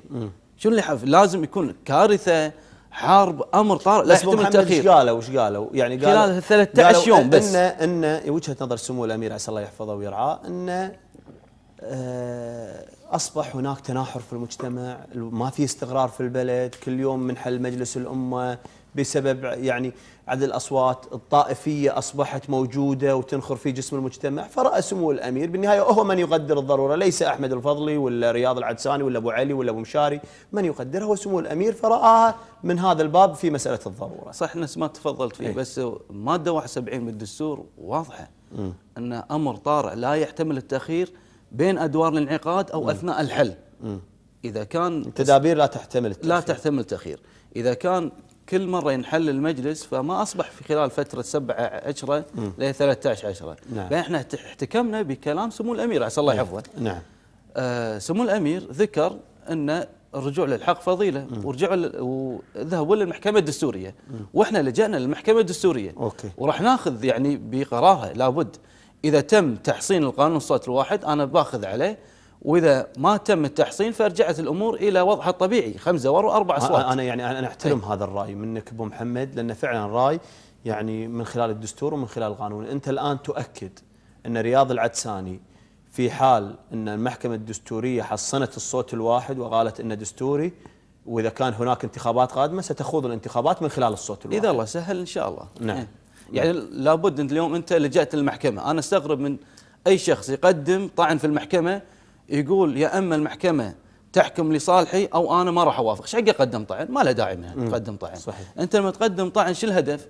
ان تبطل الصوت الواحد وترجع الأمور كما كانت بالسابق، خمس دور أربع أصوات. نعم إذا ما صار هالشيء يجب أن تقبل بحكم المحكمة ولا لا تقدم طعن. صحيح هذا الفرق بين الثنتين بس تقول في نظري الخاص إن أشوفه هل في أمر طارئ؟ نعم. ما شفنا خلال ثلاثة يعني يعني لجأنا للمحكمة. كلامك الجميل أبو محمد إن في هناك فيصل بمن يقول هذا الرأي وهذا المحكمة الرأي الدستورية. هي المحكمة الدستورية وستؤمن بحكم المحكمة الدستورية. أبو علي عندك إيه تعليق على بس هالنقطة؟ إيه بس اي نعم اسمح لي بس أكو شغلة جدا مهمة لازم نوضحها. نعم. المادة 71 من الدستور لم ولم تكون أي مفردة فيها كلمة ضرورة نهائي. زين في اتخاذ تدابير ما لا يحتمل تحتمل التأخير نعم. ليش إن قانون الانتخابات كان موجود في المجلس. الآن لا يحتمل التأخير. وهذا لا يعني أكو فرق هني. أكو فرق. أنا أقول اليوم مثلا في آه، حكم أفتكر إذا ماني غلطان الماده 69 أو أو 68 هذه المادة الوحيدة فقط في كل الدستور ذكرت فيها كلمة الضرورة. ويقول لك حكم يصدر حكم من الاحكام 69. العرفية. لأن لا سمح الله على سبيل المثال لو صارت الآن كارثة الآن في ضرورة. الآن ما تقولي بعد شهر في ضرورة. زين لكن صاحب سمو الأمير عسى الله يحفظه يقول لك هذا الأمر لا يحتمل التأخير لأن قانون الانتخابات كان موجود في أدراج مجلس الأمة من عام 2002 بصوت واحد. كان اسمح لي شوية. الآن صوت واحد 20 صوت مو القضية كذي. تعديل قانون الانتخابات كان موجود. زين؟ قانون مكافحة الفساد كان موجود من 2002 نعم.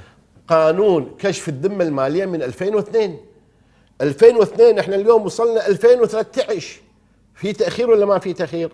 من مجلس 2009 ولا جاوبني في تأخير ولا ما في تأخير؟ يتحمل بس 2012 الآن مو يتحمل. هذا الكلام. الآن مو يتحمل. الحين مو يتحمل. الآن في تأخير ولا ما في تأخير؟ على المجالس كلها مو على المجلس الأخير لا، لا، بس إحنا الحين قاعد نجادل في تأخير ولا ما في تاخير؟ أنت اللي قاعد تذكر قضيه ما في غريبة تأخير. أبو ليش ما في تاخير؟ أنا أقول لك ما في تأخير. ليش ما في تأخير؟ أنتوا واحد يخالف. حطيتوا أنتوا مع احترامي لكم يا الأعضاء حطيتوا هذه المواد ليس من الأولويات وكان هناك مفترض أن يكون من الأولويات لا ترى مو صحيح والله اللي قاعد يثار في الإعلام مو صحيح خليني بس أوضح الصورة زين آه، أول شيء خلينا نقول بالنسبة حق قانون الانتخابات مادة 71 إذا حدث أول كلمة. أي. شنو الشيء الحدث اللي حصل إنه يجب انه يقر قانون الانتخابات. بالإضافة إلى سمو رئيس الوزراء شو اللي ذكر قبل كم يوم؟ إن قانون الخمس دوائر والأربع أصوات غير مفهوم عالميا. إنزين في خلال مجلسنا الأربع اشهر لم تتقدم الحكومة في تعديل قانون الانتخابات. النواب تقدموا في ست قوانين وقانون صوت الواحد ما تقدمت فيه الحكومة. كانت الحكومة متمسكة في قانون اللي تقدمت فيه اللي هو خمس دوائر وأربع أصوات. هذه نقطة. النقطة الثانية بالنسبة حق قانون أي الفساد. سنة؟ 2006 هذا لا لا 2012 مجلسنا. مجلسكم شنو اللي صار؟ الحكومة لم تتقدم في أي مشروع لتعديل قانون الانتخابات. زين المجلس تقدم في ست قوانين وموجود في لجنة الداخلية. آه، بالإضافة إلى قانون كشف الذمة المالية مكافحة الفساد تعارض المصالح حماية المبلغ هذا تقريبا القانون أكثر من 100 صفحة. نعم.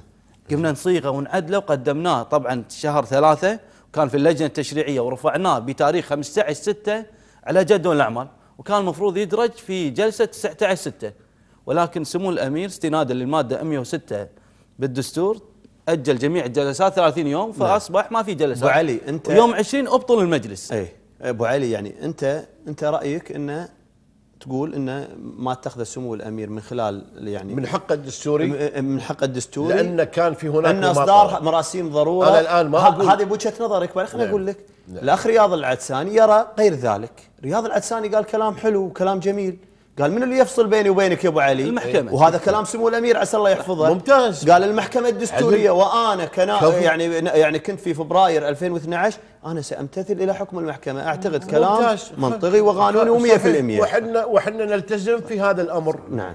إحنا هم نلتزم بس في هذا الأمر تعليق أبو بس مشاري على بس. بمش بس لحظة إيه. هم هم في شغلة ثانية في نفس يعني النقطة. بالضبط لو تلاحظ أنت يعني الآن ليش إحنا خلافنا على بس مرسوم قانون الصوت الواحد قانون خصخصة الكويتية من عام ترى مشروع خصخصة الكويتية من عام 1993 مطروح في المجلس.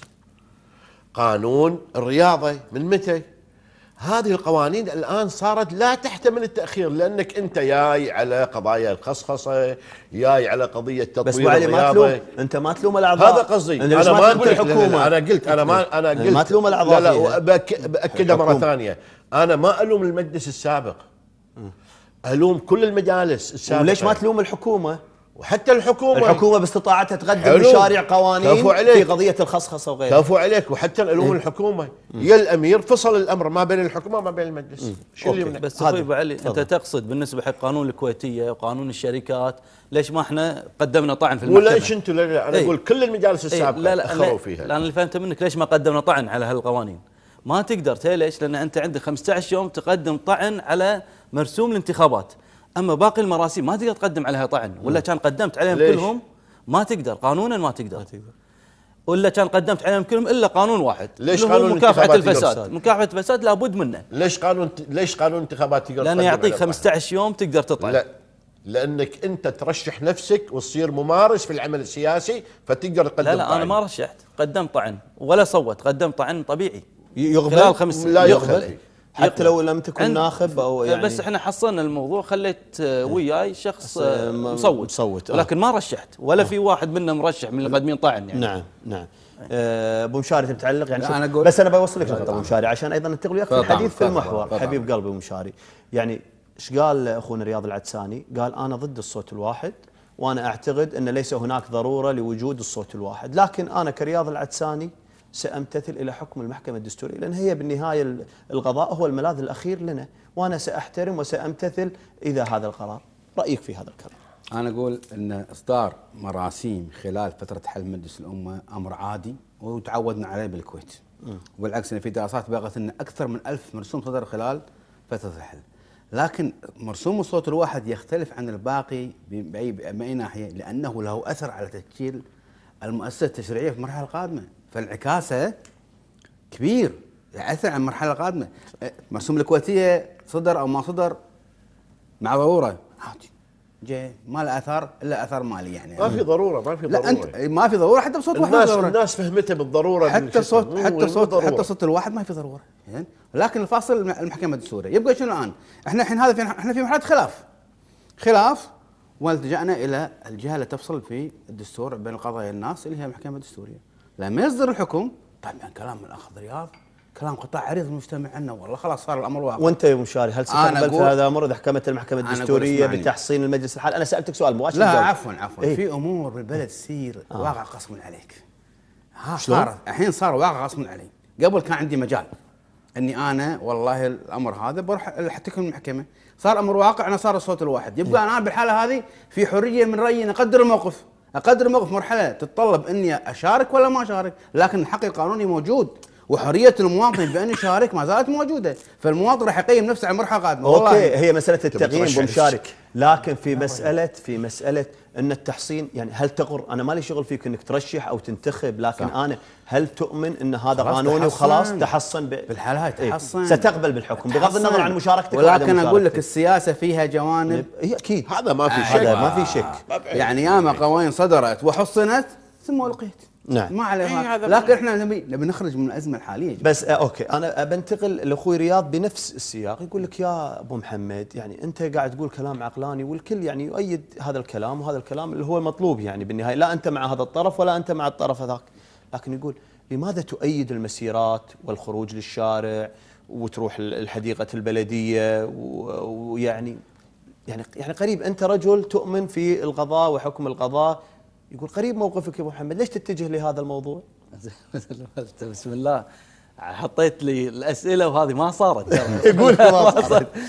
شوف أنا بكون صادق إيه. معكم وصادق مع إخواني المشاهدين. وأنتم ما شاء الله من متابعين السياسة. إذا طلع عندي أي موقف متناقض أنا صفط اقراضي واعتزل السياسة. نعم عليك. الله نعم. يسلمك. آه ثق بالله إن نأمن بالقضاء. أنا ما قلت في ولا مسيرة خلينا نطلع إلا بإخطار. المسيرات اللي حصلت في المناطق ما طلعت فيها معها آه. أو ضدها؟ لا أنا ما أيدها ما تأيدها. يعني الدستور ليش؟ مادة 44 من الدستور نصت على المواكب والتجمعات والمفروض إنه يشرع قانون ترى عندنا قصور. قانون في قصور. صحيح. فما تقدر أنت تدين اللي طلعوا ولا تقدر تبرئهم ولكن خلينا نكون صادقين المسيرات اللي قاعد تحصل في المناطق قاعد تسبب إزعاج للأهالي يعني سواء من القوات الخاصة أو غيرهم. حتى القوات الخاصة قاعد يضربون مسيل الدموع وقنابل دخانية وقاعد تسبب اختناقات. تدخل البيوت فيها كبار السن ومعاقين وغيرهم. لكن المسيرات اللي صارت بإخطار. زين ما كان في قوات خاصة في دوريات تقريبا أربع دوريات. صحيح. وعوائل وشباب وشياب وبنات وكل ويعني كانت آه، نفس المسيرات في أوروبا. صحيح. أنا حضرتها. ولو تصير مرة ثانية هم حضرها لأنها بترخيص وقانون بترخيص يعني وما فيها أي إشكال. أي. بالنسبة حق قانون التجمعات يسمح. الحديقه حديقه البلدية كان عندي ندوه لقاء مفتوح. أي. وتجمعت مع إخواني وتشرفت في شوفتهم بس أثق بالله كلامي لا أقوله اليوم في القناة ولا أقوله في حديقة البلديه ولا أقوله في الدواوين ولا أقوله بالتليفون واحد. واحد. ما يتغير. يعني الكلام اللي قاعد أقوله اليوم نفس اللي قاعد أقوله في حديقة البلدية نفس اللي قاعد أقوله في أي مكان والشباب ثاني. يتقبلون هذا الكلام إيه، منك؟ يعني. ذاك اليوم أنت قاعد وياهم هم شباب ونعم فيهم. هل تقبلوا الكلام اللي قاعد لا لا بالعكس مثل هذه الجزئيات؟ رحبوا يعني وتشرفت بشوفتهم وكلام كان جدا فوق الممتاز. نعم. يعني حتى قاعد من ضمن الكلام قاعد نقول إحنا القضاء اليوم لا يمس. إحنا من نحط اللوم عليه على الحكومة. ليش؟ لازم نفرق بين القضاء والسلطة التنفيذية. إيش اللي قاعد يحصل؟ البعض يقول فرضا ليش أدانوا في ناس أساءوا لسمو الأمير وفي ناس ما ادانهم الكلام مو صحيح. أمن الدولة متواجد في أغلب الندوات إذا ما كان كلهم. هذا صحيح. أمن الدولة قدم بلاغ للنيابة. اليوم القضاء نفس الماي الراكد ما يتحرك لما تقدم بلاغ. صحيح. فلان قدمت عليه بلاغ آه، صار عليه خلينا نقول تحقيق ومن النيابة رفعوها إلى المحاكم. نعم. فلان أمن الدولة ما قدم الدولة من يتبع؟ يتبع وزارة الداخلية. والداخلية هي الحكومة. فالقصور من منو؟ من الحكومة. إحنا نلوم الحكومة لما تكل في مكانين. الزواجية في المعايير. فلان يتكلم عن الأردن قدمه والله بلاغ عليه. فلان يتكلم عن البحرين والسعودية أو قطر ما حد ما حد يسحبه. زين يفترض من باب أولى يا أما أحول الكل أو أقول سفارات الدول هي اللي تقدم الشكاوي. نعم. ولكن أقدم شكوى على فلان وفلان ما قدم عليه شكوى وين الخلل؟ ليش أقول لك من الحكومة؟ هي اللي ما تقدم البلاغ. فيوم رحت إلى حديقة البلدية بالعكس رحبوا فيني وبالعكس المعاملة كانت أفضل من أنا اللي توقعته توقعت إنه معامله جيدة توقع شفتها ممتازة. وهذا أمر مشروع إنك أنت تلتقي مع الكويتيين شباب، وإخوانك نعم، صحيح. يعني وشباب من جيلك إيه، يعني أبو مح- محمد يعني أيضا البعض يلغي عليك اتهام انه وهذا اتهام يلغى عليك يعني وهذه وجهة نظر أنا أنقلها لك يعني من ناس يعني دائما قاعد وياهم أو من يقول أبو محمد موقفه ضبابي لا هو مع المعارضة ولا هو مع يعني نقول آه، إيش نقول يعني؟ نقول المؤيدين للحكومة. يعني ريل هني ريل هني. إيه، يعني لا هني بالنص يعني واقف. أنا- موقفك هادي صدق لا أبيض ولا أسود. والسياسي كذي ترى. لا لا. أنا إيش قلت؟ قلت مثل نفسك اليوم في أبيض وأسود. لا قلت, قلت لكم إذا إذا صدتوا علي موقف متناقض نعم. عطني موقف واحد. بس قل لي في يوم من الأيام أنت ترددت في موقف أو كنت متلون في موقف. ما في. بتاتا. اللي حصل أنا أشوف القضية ما يصير أقول أنا والله فرضا طول وقت الحكومة صح ولا طول وقت المعارضة صح. أنا أشوف القضية في حدة. صحيح. القضية إذا كانت صحيحة لو المعارضة أساسا ما دعوني فيها أنا بالعكس راح أوقف وياهم. وإذا كانت الحكومة على صواب بالعكس بوقف وياها. والحكومة إذا كانت خلينا نقول في أمور فيها خلل لا بنقومها. أنا أشوف كل قضية بروحها. ما يصير أنت تقول فرضا إن أنا مع المجموعة الفلانية بالصح والخطأ. هذه ما تصير. صحيح. فأي موقف أنا قيمة. أشوف اللي صالح الكويت هل هو صح أو خطأ؟ إذا كان خطأ نعدله واذا كان صح اوقف أكلمك عن اللون الرمادي، البعض قال إن أبو محمد رياض العدساني في أيام ال- ال- المجلس المبطل كان أيضا في قضية أيضا الموقف الرمادي اللي قاعد أكلمك فيه، هل هو مع الأغلبية؟ مش مع الأغلبية؟ هل هو كتلة الأغلبية؟ فاصبح لآخر لحظة انحل المجلس والناس ما ما زالت تتساءل.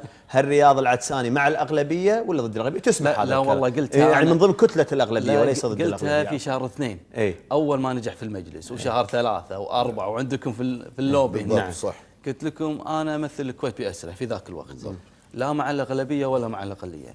أجتمع مع كل النواب. مستقل. وفعلا اجتمعت مع كل النواب بس كنت متحفظ على شغلة واحدة إن أي اجتماع لا يمكن إنه يطلع برا. اجتمعت مع الكل. أي اجتماع المجالس لها أمانات. صحيح. اللي حصل ثالث اجتماع للأغلبية كان بالنسبة لي اجتماع رقم واحد وكنت واضح معاهم. قلت لهم أنا أشوف القوانين ولكن بالتصويت باللجان أو غيرها أنا ما ألتزم أصوت وفق قناعاتي. رابع اجتماع للأغلبية يعتبر الثاني حضرت. حضرت سادس اجتماع اللي هو الاجتماع الثالث ثم قلت لهم إن الاجتماعات تفترض تحت قبة عبد الله السالم وما اجتمعت.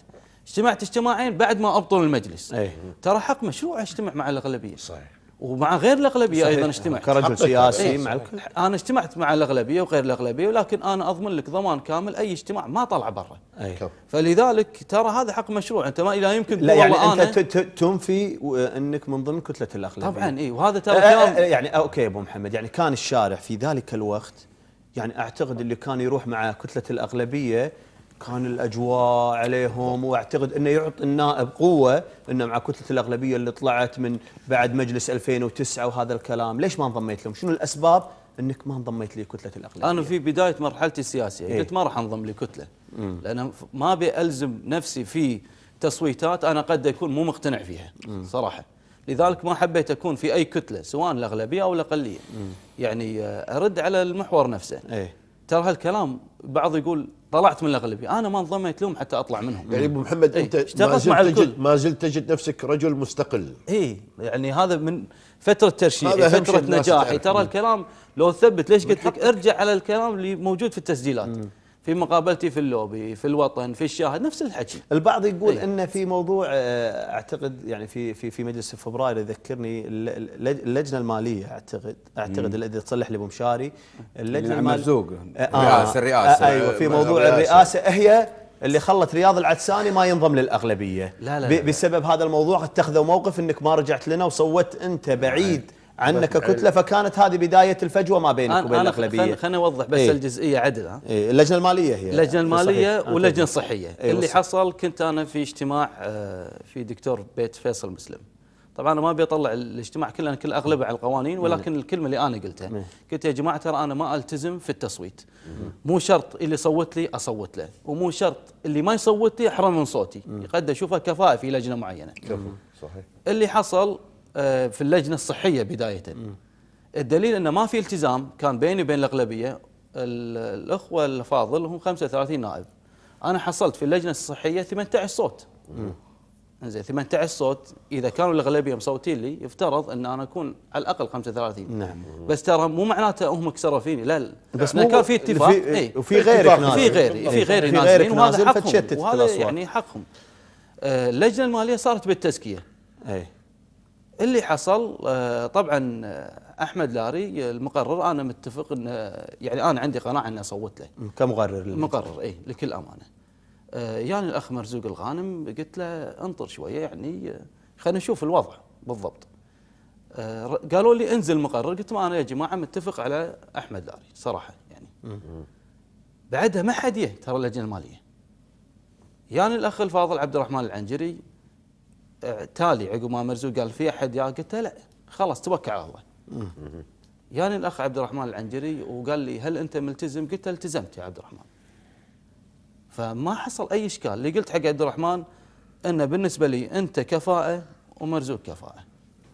فما يفرق بالنسبة لي حق الرئاسة، مو سالفة من قال لي قبل. نعم. هذا اللي قلته. بالضبط. وقال لي خلاص هذا ما زعل الاغلبيه عليك في اتخاذك هذا القرار؟ لانها اثيرت اعلاميا إيه لا لا ما له علاقة. إيه. لا لا كلش.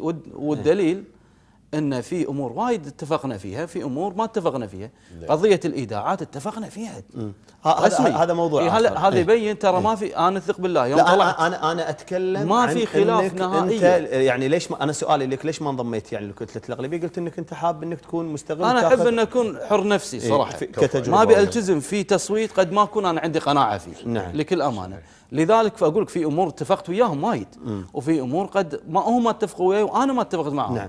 مو شرط أنا صح ولا هم صح قد يكون في أمور هم صو... على الصواب فيها. في وموضوع البيان. اللي ما وقعت عليه. اما سمو الأمير؟ إيه. آه لا أول شيء آه بيان أنا ما وقعت ترى فترة المجلس ليش طلع لغط كثير يقول لك وقع ترى فترة البيان المجلس الأول اللي طلعوا على حل المجلس أنت وقعت عليه؟ لا خليني أذكر لك إياهم جزئية جزئية وبالتاريخ. okay, okay. أحسن. حلو. تاريخ 14 2 أول بيان طلعوا الاغلبيه كنت أنا معارضه. أول بيان اللي هو إيش كان يتكلم اللي هو؟ إنه يفرضون على رئيس الوزراء تسع وزراء. أنا وصفته بغير دستوري ما هذا. بعد انتهاء الانتخابات. بعد انتهاء الانتخابات. قبل تشكيل حكومة قبل تشكيل المبارك أي. آه، لأن مادة 50 من الدستور فصل السلطات. فاستنادا على حكومة 92 الشيخ سعد الله يرحمه عسى الله يغفر له ذكر إن ثلاث نواب من من وزراء من أصل نواب. إيه. وقالوا الأعضاء لا نبي تسعة فوصلوا حل وسط ستة. فأنا بالنسبة لي التفاوض فكان فرض على رئيس الوزراء تسع وزراء. صحيح. فقلت أنا وصفته بغير دستوري. فترة المجلس ترى ما وقعت ولا بيان مع الأغلبية. ما في نهائيا. اتفقت في قوانين بس ولا بيان طلعت فيه. بعد ما أبطل المجلس بيانين الأول والثاني إيه. باقي البيانات ما وقعتها. إيه. الأول الأول والثاني بعد إبطال المجلس باقي البيانات ما اللي هم البيانات شنو كانت؟ الأول؟ الأول وقعت عليه الأول والثاني إيه بس الأول قال انت بس عندي تحفظ بالنسبة حق المحكمة آه انت هذا. أنت الآن تتحدث عن احترام الغضاء لا لا بس الغضاء. شلتها، آه. شلتها. فقالوا إن رياض العدساني شلون يوقع الناس لا لا, لا. شلتها الفقرة أنا شايلها شايلها إنك كأن المجلس غير مبطل هذه شلتها الفقرة نعم. أنا قلت هالفقرة هذه أنا ما ألتزم فيها ارد على بالنسبة حق البيان اللي تفضلت فيه. أنا لي تصريح سابق إن مناصحة ولي الأمر تكون في السر وليس على الرؤوس المنابر صحيح أنا قريت ال- ويوم رجعت الكويت تشرفت في مقابلة سمو الأمير. نعم. إنزين آه، فالبيانات ال- مو معقولة. أنا أقول شيء واعارض كلامي. ومو معقولة هم أيضا أنا أوقع على بيان أنا أساسا وقت الخطابات كنت خارج الكويت. فمن باب أولى لما أنا أبي أوقع على بيان يفترض الخطاب أنا شايفه قبل لا أوقع عليه. نعم. يعني هل يعقل أنا أوقع على بيان أنا أساسا ما شفت الخطاب قبل لا يقال؟ يعني هذه نقطة. النقطة الثانية أن أيضا الأخوة الافاضل ما دعوني بالنسبة ولو دعوني أنا أقول لك يا أنا ملتزم بكلمتي ما راح أوقع البيان. لا يمكن اليوم أنا أوقع البيان وعندي تحفظ على بعض العبارات بالإضافة أن البيان على أساس أوقع لازم أنا أشوفه عدله. يعني نفترض أنا طلعت بخطاب مثل ما قلت لك تعال وقع وياي. بتقول أنت ليش ما عرضته علي؟ أكيد يعني فلذلك أنا لك عندي. تحفظ نعم. عندي كلمة عندي. تحفظ بضيف كلمة بشيل نعم. عبارة سؤالي عشان بنتقل لأبو علي ولأبو مشاري في التعقيب على هذا المحور آه، شنو المواقف اللي أنت اليوم تشوف الأغلبية أو كتلة الأغلبية على حق فيها وتشوف إنه آه، وإن كتلة الأغلبية مش على حق فيها مخطئين فيها كرياض العدساني في ميزانك شنو المواقف المواقف أنا أقول لك تبي في فترة الايجابيه؟ والسلبية. فترة المجلس ولا كيفك؟ فترة المجلس آه، في حق مشروع لكن أنا شفته أنه مو احتكار المناصب هذا حق مشروع ولكن أنا ما شفته أنه خطوة إيجابية. آه، عدم رفع الحصانات يعني عن كتلة الأغلبية يعني أنا قاعد أشوف أنا رفعت الحصانة على الكل. نعم. آه هذه من ضمن ال- اللي شفتها الأخطاء يعني آه، تروح على الأقلية قالوا والله إحنا نبي التنمية قدموا أربع استجوابات ورا بعض. زين انت قاعد تناقض نفسك أنا أشوف الاستجواب لا أنا ما أنا ما. أتكلم عن الأغلبية في مجلس. المبطل أنا أتكلم عن سلبيات الأغلبية اللي أنت قاعد تذكرها ممتاز. اي واذكر لي إيجابياتهم ال- اللي أنت يعني الإيجابيات أنا أقول لك الإيجابيات أنا أقول كانوا متعاونين صراحة إيه. أنا ما أبي أخفي متعاونين. مع مع منهم ترى متعاونين مع الكل كانوا آه. يعني ما حتى مع حتى مع. الحكومة مو لهالدرجة حتى مع. بعض- الكلام اللي صارت. بعض المواقف اي ولكن يعني أكثر من مرة قالوا حق الاقليه تعالوا ويانا لكن هم الاقليه كاشين شوي. آه. آه. اتفق معهم قضية الإيداعات قضية التحويلات أتفق معاهم استجواب الشمالي أتفق معاهم أنا. يعني ليش إحنا بالكويت قاعد تحصل عندنا؟ للأسف ها في الفترة الأخيرة ولازم أكون أنا صادق. نعم. آه البعض أو القلة ولكن صوتهم عالي أخذ النفس العنصري الطائفي القبلي. يعني أنا يعني واحد مرة قال لي شلون أنت طرحت الثقة في آه، مصطفى الشمالي. فقلت له إيش رأيك في مدير التأمينات الاجتماعية؟ فقال لي ما يستحق ومفروض إنه يروح النيابه من الكلام هذا هذا رأيه رأيه فقلت له الوزير هو اللي جدد له صحيح. فهو يتحمل مسؤولية شلون أنت تقول يعني الحين أنت قاعد تفرق في تناقض. في تناقض تناقض. إيه. إذا هالشخص جدد حق هالشخص من باب أولى الاثنين يمشون صحيح فهني المسألة غير الأمور الثانية اللي هي عندك أنت قضية القروض مال- القروض مالت البنوك التحويلات الإيداعات ما كان كلها تحملها وزارة المالية يعني. نعم. بالإشراف يعني. آه، قضية التأمينات الاجتماعية قضية الإيداعات والتحويلات الخارجية لا أتفق مع الأغلبية. قضية الشمالي أتفق مع الأغلبية.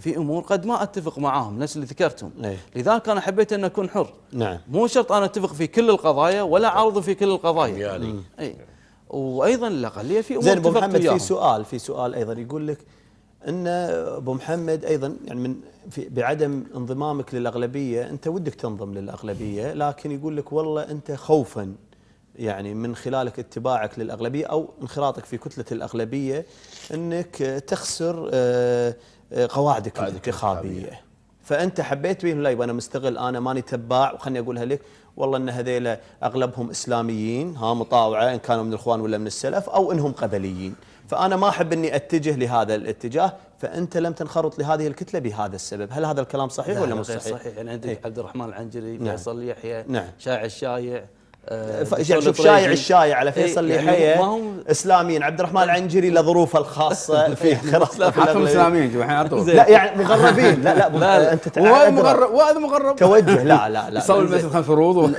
لا لا. لا, لا. كتوجه فكري يا أبو مشاري حتى في التحليل حتى في التحليل خليني أقول لك شغلة. لو أفكر إيه. في أمور سياسية أثق بالله ما حطيت اسمي في طرح الثقة في وزير المالية الشمالي كان أقول والله الأغلبية عندهم عشرة وزيادة. نعم. لو أفكر في مسألة سياسيه ما قدمت استجوابي حق ال- الفريق أحمد رجيب. صحيح. لكن ثق بالله ما فكرت سياسيا فكرت اصلاحيا. آه. ولو أنا أشوف نفسي أقول فرضا أن في كتلة لا والله بنضم لها. حتى لو أتأثر سياسيا بس الدولة ترتقي.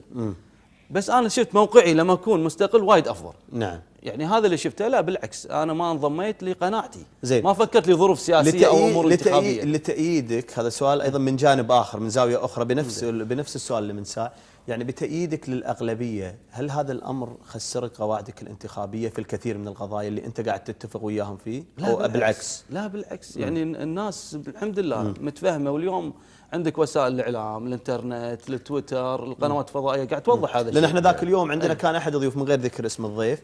قال يعني بي بي قال آه، رياض العدساني وعبد الرحمن العنجري فقدوا قواعدهم الانتخابية بسبب سياساتهم الخاطئة. اي عرفت. لا إيه، من ما- غير ذكر الاسماء لا ما قال سياساتهم الخاطئة. إيه والله أنا هذا بالضبط لا لا يعني. لا إيه، أنا أقول لك اللي. قاله إيه. بالضبط. قال آه، رياض العدساني وعبد الرحمن العنجري قد تكون خطواتهم صحيحة ولكن خسروا قواعد. قواعدهم. قواعدهم. إيه لأنه يمكن مشوا عكس الدائرة الثانية. نعم. لا بالعكس أنا أقول لك الأمور أفضل من قبل وايد أفضل. والحمد لله شعب الكويت شعب وطني. بيقيمك على ال- النقاط اللي انت. مشيت فيها وأدائك. بالنسبة حق الاستجوابات طرح الثقة المساءلات البرلمانية يعرفون هل أنت طرحك عنصري طائفي قبلي؟ ترى الناس بالعكس قاعد يصير فيها واضح. وعي زيادة يعني واضح. الحمد لله وابو مشاري في في موضوع الأغلبية هو طبعا إيه. رياض العدساني لم يقاس شعبيته مرة ثانية في الانتخابات لأنه ما. خاض انتخابات ثانية صحيح. فاللي. يقول فقد فقد هي قواعده تكهنات، تحليل، ما منيبها تكهنات. فهذه كلها يعني كلام تكهنات، تكهنات. مرسل وغير موثق نعم. لأن غير دقيق أنا أقول رياض العدساني الآن قاعد يثبت إنه هو آه، باستقلاليته إلا أن في قضايا يتوافق مع الكتلة كما بينتها فإذا الصوت الواحد ليس هي قضية مسلم براك ولا أحمد سعدون ولا. بالعكس موقف رياض العدساني محمد الصقر مجموعة من النواب المستقلين واتجاهات أخرى بعكس اتجاهات فكرة أخرى تدل على أن هناك رأي عريض على الصوت الواحد. مو الفاظ مجموعة التكتل الشعبي ومجموعة لا بس فلان. يختلف عنهم ابو مشاري رياض العدساني خلينا نكون لا واضحين. اختلف بس ما دخل انتخابات. لا لا. لا ما دش مشاري- الانتخابات لحظة يا ابو أنا أقول مشاري لك. لحظة. ابو مشاري رياض العدساني كان واضح في هالجزئيه قال ان حكمت المحكمة الدستورية بتحصين المجلس الحالي أنا راح أنزل الانتخابات من خلال الصوت الواحد. بالضبط. يعني الرجل قال أنا أحترم حكم المحكمة الدستورية الآخرين لم يعلنوا هذا الأمر. يعني في هالجزئية بس- الصوت لكن الواحد. الجميع ما نزل إيه. انتخابات. بس في في جزئيه ما خاض انتخابات. إيه، تفضل.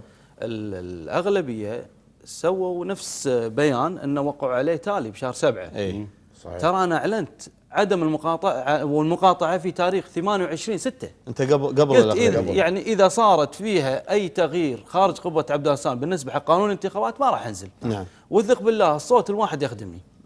صوت الواحد ما في تبادل أصوات وأنا كنت جدا انزعجت من الانتخابات اللي طافت. إيه. تبادل أصوات وهذا وأنا ما تبادل. نعم. لكن فكرت فيها للمستقبل لنفترض اليوم صوت واحد وخمس دوائر. باكر الحكومة رفعت كتاب عدم التعاون وسمو الأمير حل المجلس. صار مرسوم ضرورة 50 دائرة وصوت واحد ما نفع 25 دائرة وصوتين آه من هذا إيه المبدأ من هالمبدأ هذا نعم فأنا أقول لك يعني إن القضية فيها رأي عام عريض و- والرموز هذه العدساني والصقر وغيره بينوا وجهه نظرهم قضيه واتفقوا مع ال- الأغلبية المبطلة. الشاهد الأغلبية المبطلة كان لها اخطاء صراحة نكون صريحين. يعني أنا كنت والله من أول يوم تو انتخابات اللجان كنت موجود.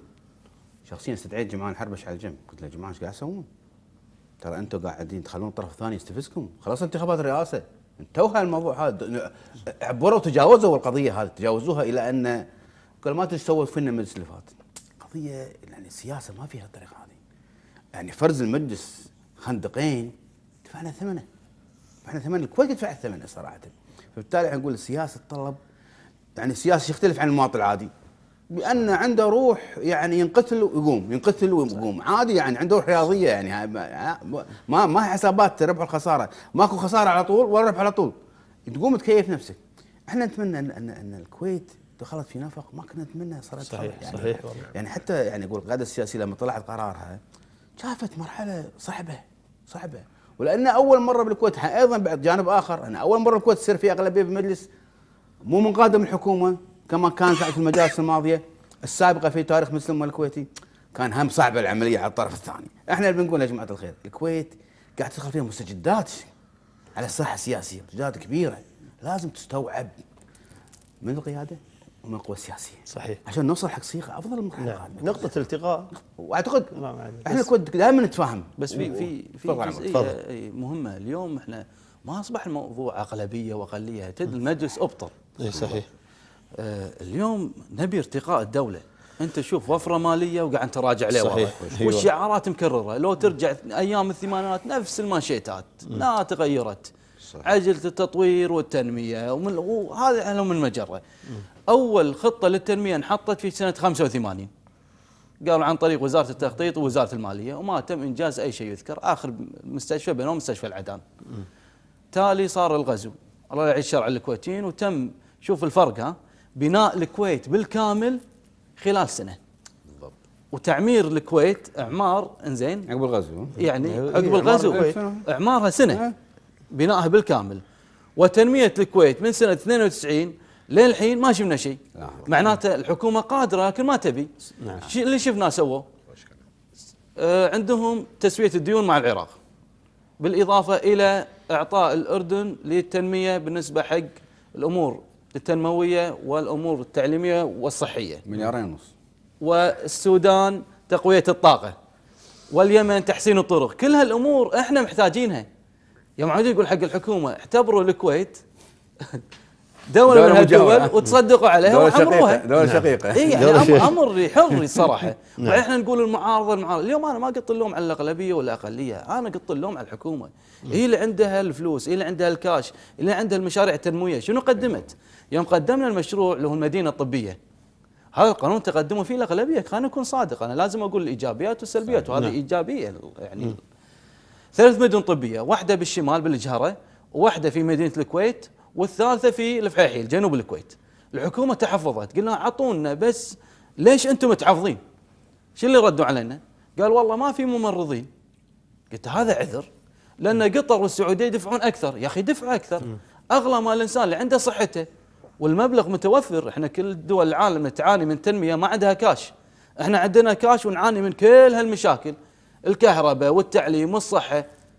ولا زالت الحكومة المجلس تبي النا- تخلي الناس تكفر في المجلس. إي هذا اللي بتوصله. نعم. شماعة. و- وكانت طموحها تحصل هالمجلس هذا. وحصلته. وهم بعد مجلس ضعيف. حصلت هذا راح نحكي عليه. هذا في محور كامل ل- ل- ل- لموضوع المجلس. بس يعني ما حدث من الأغلبية تحديدا يعني ومن نواب. في مسألة يعني مخاطبة سمو الأمير وإن كان هناك في اليوم يعني آه، قضايا موجودة على النواب. شنو رأي رياض العدساني في مثل هذه الأمور؟ طبعاً وهذه الخطابات؟ أنا أقول ثلاث شغلات نبتعد عنها. اللي هي؟ المساس في سمو الأمير والمساس في القضاء. والمساس في تركيبة الشعب. ما يصير أقول أنا فلان عنده ولاء وفلان ما عنده ولاء. صحيح. فلان كويتي فلان أصلا من, من وين. خلاص يبقى كل واحد عنده الجنسيه هو كويتي. نعم ما نشكك بهالأمور هذه الأمور بالعكس راح ترتقي. أنا ليش كان عندي تحفظ لتوجيه الخطاب بسمو الامير بهذه الطريقة؟ آه ممكن تقابل سمو الأمير بأي وقت وتشرح له الوضع كامل. آه بالإضافة الكويت دولة صغيرة. تتأثر مع الظروف الخارجية. الظروف الخارجية ما هي مستقرة. البحرين من صوب الجمهوريه العراقيه من صوب سوريا من صوب. فما تبي أنت تلفت الأنظار. هذه نقطة. إذا في خلل ما عالجه في خلل أكبر منه. صح. إذا في خلل بالدولة يعني دائما يقول لك الأمير مارس صلاحياته عن طريق وزرائه نعم. يفترض اليوم المسؤول عن رسم سياسة الدولة هو رئيس الوزراء. رئيس الوزراء يقول مو عندي عند الأمير. تقابل الأمير وتشرح له وضعك. لكن أنا في نظري أن اختلف التوجه الخطاب بهذه الطريقة الصراحه نعم. آه، هل آه، قابلت سمو الأمير آه، رياض في في أيام فترة الحديث عن يعني تغيير الأصوات من أربع أصوات إلى صوت واحد، هل صار كان هناك مقابلة مع سمو الأمير وتم التحدث في هذا الأمر؟ أنت كنت متواجد فيها؟ أنا أنا سافرت فترة تقريبا شهرين لظروف خاصة. نعم. أول ما رجعت قابل سمو الأمير. نعم. وذكرت له كل يعني كل الأمور بالنسبة حساس الصوت الواحد وغيرها يعني. مم. وبالعكس آه، تقبل الموضوع بصدر رحب. وبالأخير آه، يعني آه، رحت للمحكمة الدستورية وكلام سمو الأمير كان واضح. اللي. قاله في الإعلان نعم. إن الرجوع للحق فضيلة وأنا راح أحتكم في حكم المحكمة الدستورية. الدستورية. ولجأت للمحكمة. أنت عندك قنوات أنا شو اللي أقصده؟ نفترض يعني أرجع على نقطة مرة من المرات في بعض مو طبعا مو الأغلبية في من الأغلبية في خارج الأغلبية أيضا قالوا هالكلمة. يوم قدمت الحكومة مشروع خمس دوار وأربع أصوات. قالوا ما يصير وهذا قانون يعني شلون المحكمة الدستورية تحولونه. يوم المحكمة حصنت ليش أنتم استشهدتوا فيها اليوم؟ مم. يعني أنت كنت أنت معارض يفترض الحكم أنت تاخذ فيه في الإيجابي أو بالسلبي. صحيح صحيح. آه، أرجع بالنسبة حق الأمور القضائية غير المحكمة الدستورية. ذكرتها بالنسبة حق سمو الأمير. أنت عندك درجات التقاضي. مم. المحكمة أول درجة بعد محكمة الاستئناف والتمييز. صحيح. ليش أنت تقدم الاستئناف أنك أنت فرضا تعارض الحكم أول درجة. وهذا حقك. صحيح. وأنت من حقك أنك أنت تعقب على حكم المحكمة ولكن ما تعقب على القضاء. الهدف منه شنو؟ إذا أنت هدمت السلطة القضائية باكر صارت مشكلة بينك وبين أي شخص ثاني ما قد تروح يعني للقضاء. نعم. لأنك أنت هدمت السلطة القضائية وهذا أمر خطر. إحنا نقول نبي نرتقي للكويت. الكويت للأسف الدولة الوحيدة اللي عندها دستور وقاعد تراجع لورا نعم صحيح. قاعد لو أقارن نفسنا خلال خمسين سنة في فرق كبير بكل الأمور. نعم. يعني إذا تبي تقارن بالنسبة حق التعليم كان وايد أفضل من اليوم. اليوم صحيح. الناس ملتجئة للقطاع الخاص والقطاع الخاص قاعد. قاعد يزيد. نعم، صحيح.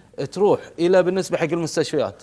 بنينا مجمع مستشفيات له مستشفى الصباح سنة 58 وانتهى سنة 62 اليوم شو اللي قاعد يصير؟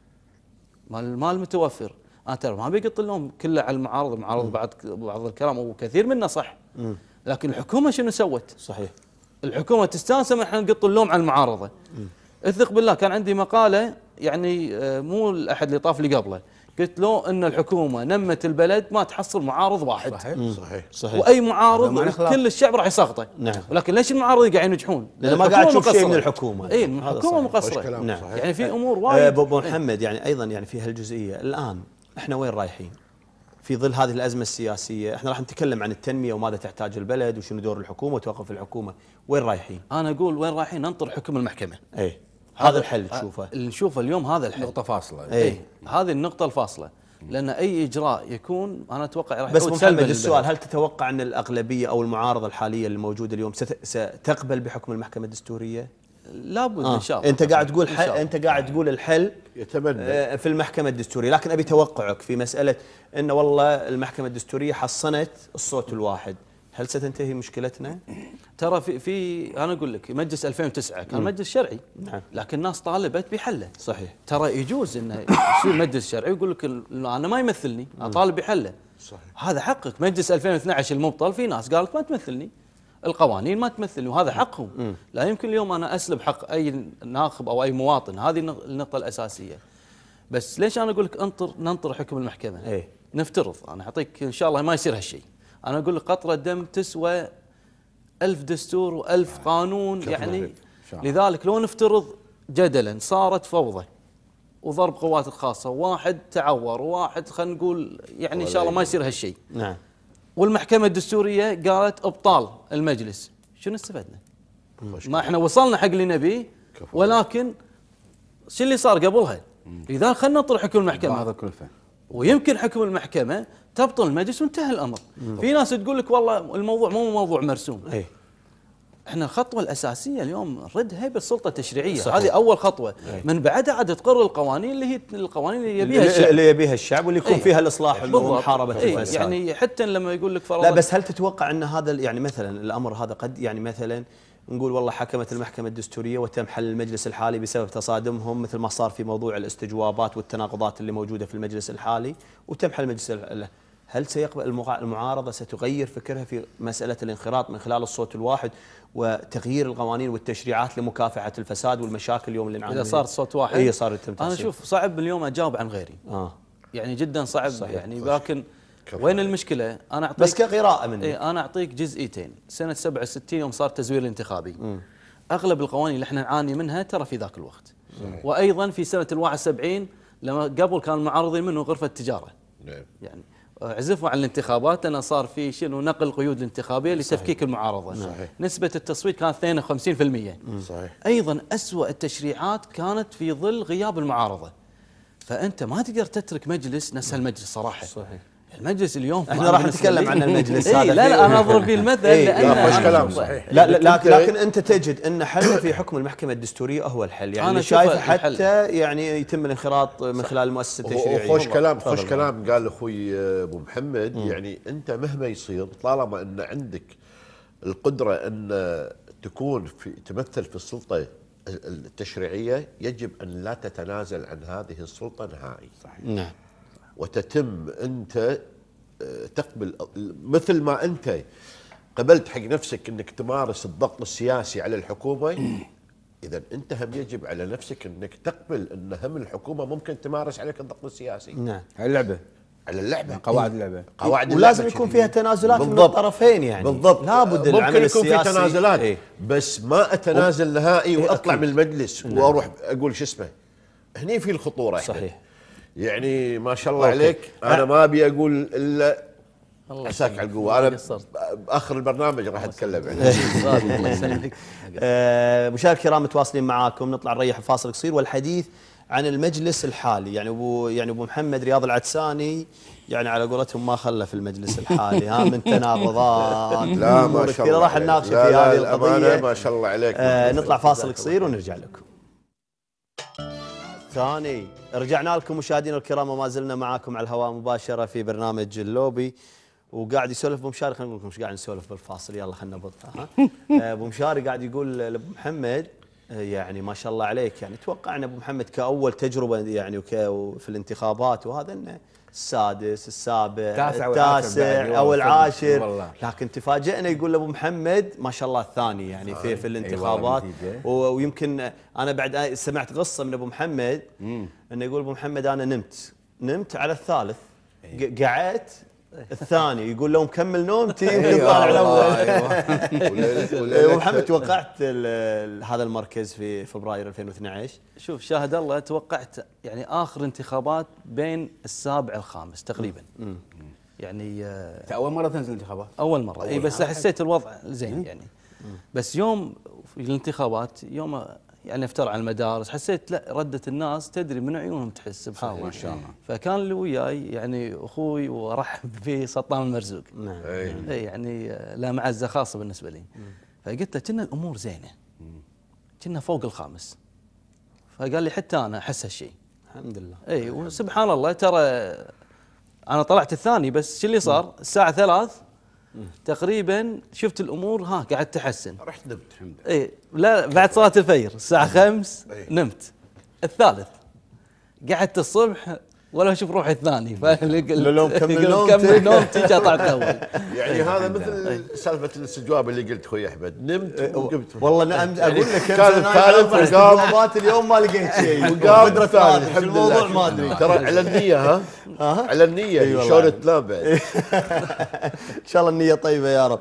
إحنا خلينا نشوف في مقطع من لقاء لرياض العدساني أبو محمد قال إن مجلس الأمة الحالي بصام كأنه ختم للحكومة. آه، وأيضا يحطون أيضا التقرير الثاني. قال أيضا يعني مع بعض يدمجونهم يخلونهم تقريرين قال أيضا مقطع ثاني من لقاء لرياض العدساني قال بعض النواب نجح في السب عن المجلس الحالي والقذف وآخر آه، تضخم حساباته. خلونا نشوف التقريرين ونرجع لكم.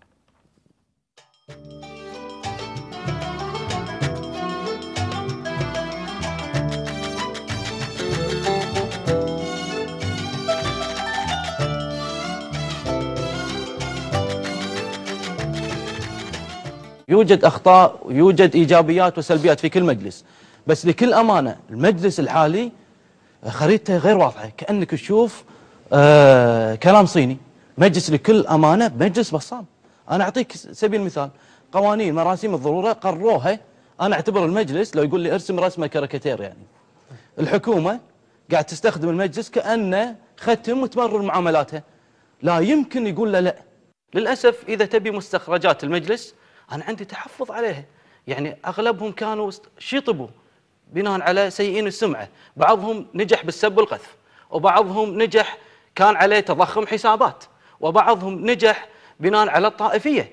كل هذه الأمور إحنا نشوف مستقبل البلد مظلم. للأسف الحكومة تقول دائما بكل تصريح لو ترجع تصريح العام وأول العام وقبل 20 سنة تعاون السلطتين، أين تعاون السلطتين؟ الحكومة عندها تنفق خارج الكويت مليارات ولكن لا تريد أن تنفق دينار واحد داخل الكويت.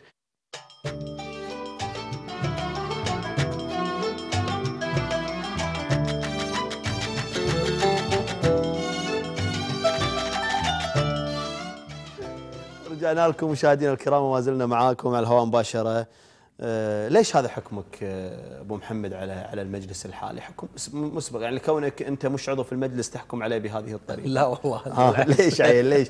شنو المعطيات اللي خلتك يعني تتحكى عنهم كذي إنه مجلس بصام أنا أعطيك مثال مو بس بصام. خريطته مو واضحة. إيه.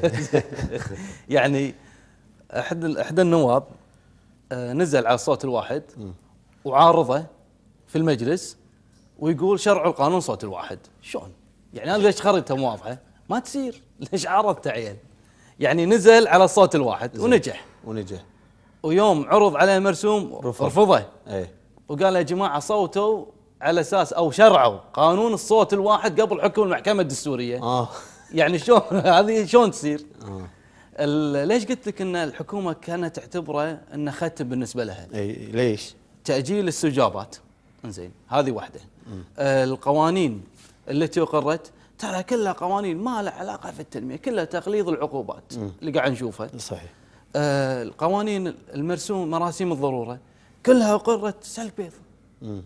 يعني أنا أبي المجلس شنو عارض عارض الحكومة فيه؟ ما عارضها شوف بشيء. مراسيم الضرورة يعني يعني مراسيم أغلبها الكل متفق عليها ترى حتى المعارضة يعني لا في في مرسوم ضرورة إيه. مضحك صراحة إيه، اللي, اللي هو؟ اللي وافقوا عليه المجلس أي واحد؟ قانون الشركات اي شركات تجارية اللي فيه خصخصه الشركات. الكويتية لا لا قانون الشركات اي يعني آه، شو اللي صار؟ يعني أنا أقول للحكومة دائما إذا تم حل المجلس القانون اللي تقدم فيه الحكومة يتم موجود في المجلس بس مجرد إنك تاخذه وتدرجه على جدول الأعمال.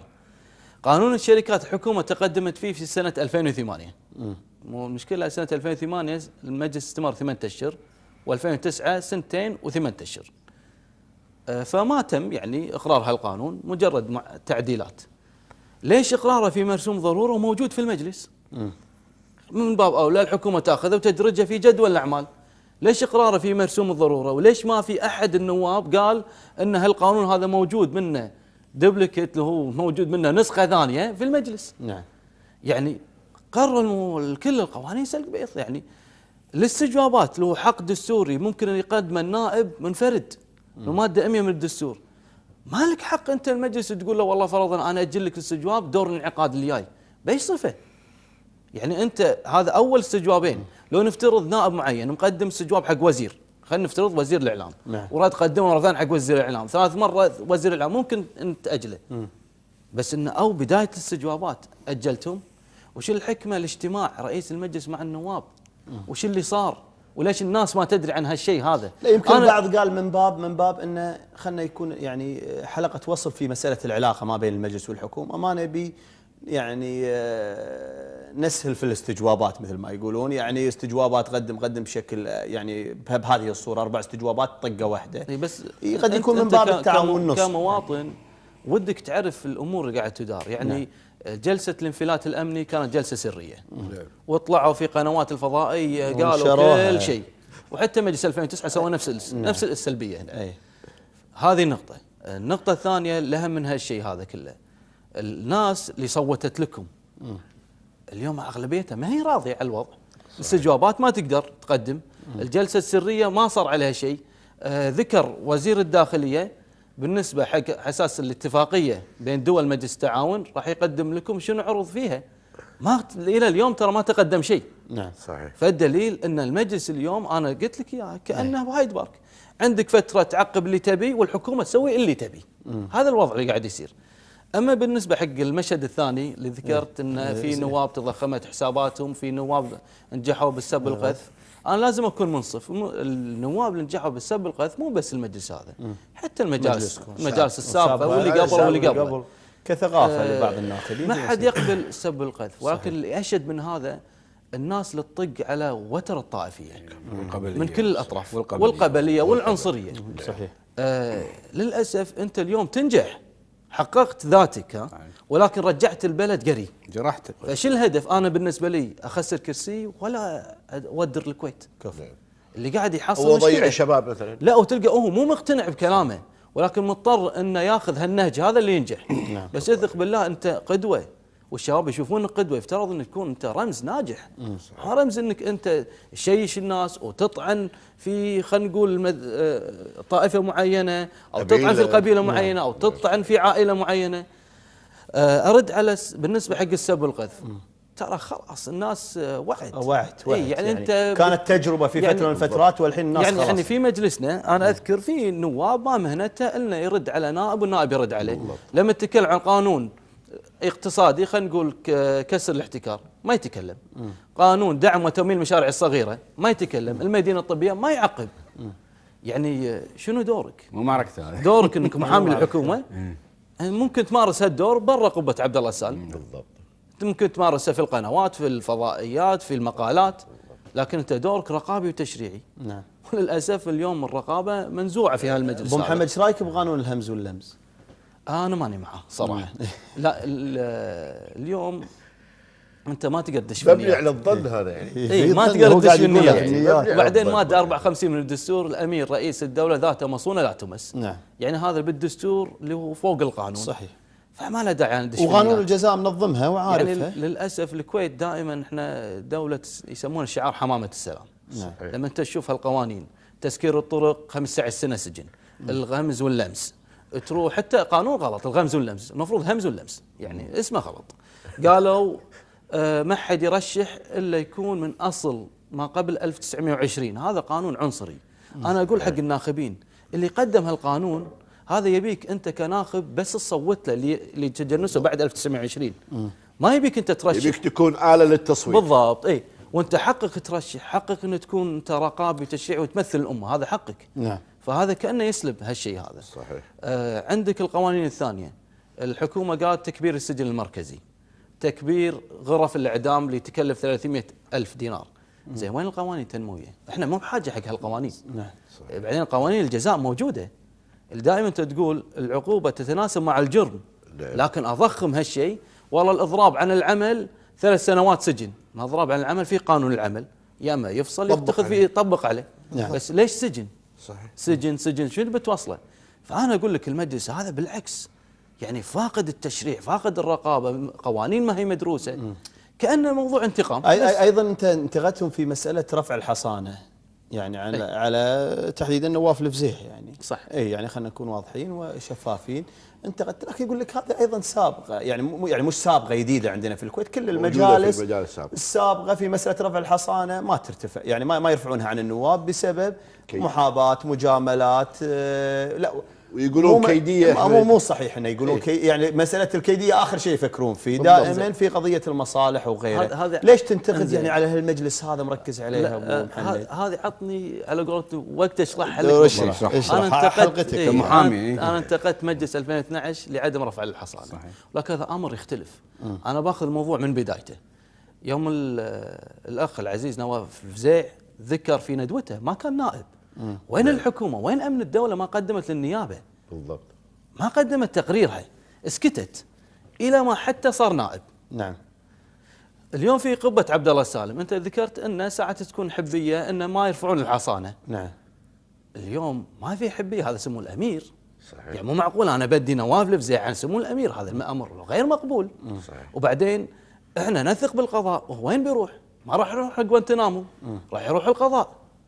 يعني وذكر حتى نواف لفزيع عندكم أنا أذكر إيه، ذكر. إنه هو. بيرفع الحصان عن نفسه نعم. وقال إن أنا ما أقصد الأمير الحالي إيه. شو ما تقصد الأمير الحالي وأنت قلت عسى الله يحفظه عسى الله يحفظه تنقال حق الشخص العايش وربطت المرسوم الصوت الواحد بمرسوم الصوت المرأة ففي ربط بين الاثنين الآن أقول العتب في في شيء ما, ما إيه. يشير إليه العتب على ثلاث جهات اللي هي أول شيء على الحكومة الأمير يمارس صلاحيات عن طريق وزراء. للأسف سبع وزراء كانوا موجودين في قبة عبد الله السالم والباقي كانوا خارج القاعة.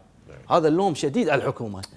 النواب رشحوا بالشعار السمع والطاعة لسمو الأمير. زين ليش ما رفعت الحصانة؟ وين الكيدية اللي فيها؟ نعم. أنت تدري الأمر المضحك شنو؟ بعضهم يقول لك كيدية لأن واحد من المعارضه رافع القضية. لا أمر مختلف. هم يقصدون الدكتور وليد الطبطبائي. إيه. وليد الطبطبائي رفع قضية على نواف الفزيع لأن نواف الفزيع أساء للدكتور وليد. ولكن بالنسبة حق المساس لمسند الإمارة الدولة رافعتها إذا النائب معارف القضية شنو؟ شلون مصوت أنت؟ يعني نائب المجلس شو يقول يقول أنا ما رفعت الحصانة لأن الدكتور وليد الطبطبائي هو من رفع القضية على نواف الفزيع. لا الكلام مو صحيح. دكتور رفع القضية على نواف الفزيع على أمر آخر. غير. التطاول بالنسبة بالفضائيات نعم. صارت ولكن انت لما يصير قضية المساس بمسند الإمارة يا النواب ليش ما رفعت الحصانة؟ ماكو عذر بعدين انت مو محل القاضي تقول والله كيدية خل القاضي خليك إيه. تروح المحكمة اي. بالضبط بس البعض اللي يميل حق هالمجلس شو يقول؟ يقول لا هذا موقف سياسي وبعدين يطلع يقول لك لا خطاب مسلم البراك خطأ يفترض مسطرتك واحدة هذا خطأ وهذا خطأ المفروض ما يصير أو لا تقارن. إي لا تقارن صحيح. لذلك أنا أقول لك من باب أولى كانت الحكومة متواجدة والمجلس يرفع الحصانة ويروح للقضاء. نعم. آه رفع الحصانة أنا أقول لك ترى تصير. وأيضا مركز على الفزيع أشوفك. يعني زايد على اللزوم يعني حاط على على قولتهم تحت المجهر يعني لا والله. العدساني أيضا حتى في تقديم خليني أقول لك يا أبو مشاري لا تقول لي لا لا. أنت أنا ريال لا، وواحد غويرات- لا، غويرات خليني أقول لك. لا، قول لي، خليني يقول أبو. مشاري اسمع اسمع شو يقول؟ استجواب وزير المالية. انتقدته اللي تقدم في آه، نواف الفزيع إيه، في ولا مسي. 15 فبراير إنه يصادف يوم الجمعة قال راح لا ما انتقدته بالذات. لا لا بالعكس ها. أنا يعني خلينا شلون؟ نكون خلينا نكون واضح هو اللي انتقدت- قدم، من انتقدت المجلس كامل إيه. أنا لا لا أنا أنا كتبت خمس تغريدات إيه. ذكرت إن المجلس الحالي يوم كانوا بالسابق كانوا مواطنين كانوا ينتقدون المجلس 2012 نعم، بتقديم استجوابات. للعلم وهم قدموا الاستجوابات وواحد منهم يصادف 15 فبراير اللي ادعى انه بيقدمه في نص الشهر 15 فبراير يوم- يصادف يوم يوم الجمعه الجمعة. فكان إيه، منو هو؟ منو؟ إيه، نواف الفزيع إيه. وباقي النواب مو قالوا أنتم استعجلتوا بالاستجوابات نعم. كلهم قدموا استجوابات صحيح. أربع استجوابات بالجملة إيه. ويوم الحكومة. ورتهم العين الحمراء سحبوا استجواباتهم انزين على قولتهم الحكومة جرتهم جر معين حمراء بطول برده حطوا صورة سعدون بسلام. جايينكم جايينكم وكتبت أكثر من تغريدة لانتقادات المجلس. قلت ابو ان مشاري لحظة لحظة لا شوف ابو مشاري هذه إيش فيك؟ لا لا لا هذه. خليني أقول لك شوف لا هذا شوف مسلم انحل المجلس. بيون هذه لا هذا هو لا أبو مشاري خليني أقول لك شوف خليني أقول تنظري لك أنا. خل... يا ابعد عمر خليني أقول لك شوف يعني أبو عبد العزيز أحمد السعدون له كل التقدير والإحترام النائب الفاضل مسلم البراك له كل التقدير والإحترام لكن لا نستطيع أن نقلل من أشخاص النواب الحاليين والله في مسألة يعني يخافون من مسلم ولا يخافون من أحمد السعدون يعني هم حل يا هم مواطنين. ونواب لل- يا هم حل. والحل لا، لا. ما تدري هل ينجح السعدون حل. ولا لا هو مقدم آه، الاستجابات هاي كم؟ مرت؟ كم مرت الاستجابات هذه مقدم كلهم مره بس بعض يعني من؟ من باب من باب من احترام أشخاصهم شاري ابو علي إحنا من باب احترام أشخاص ما عندها نفس كلامك. أنا اتفق إيه وياك إيه وليس. الحكومة الحالية ما عندها نفس.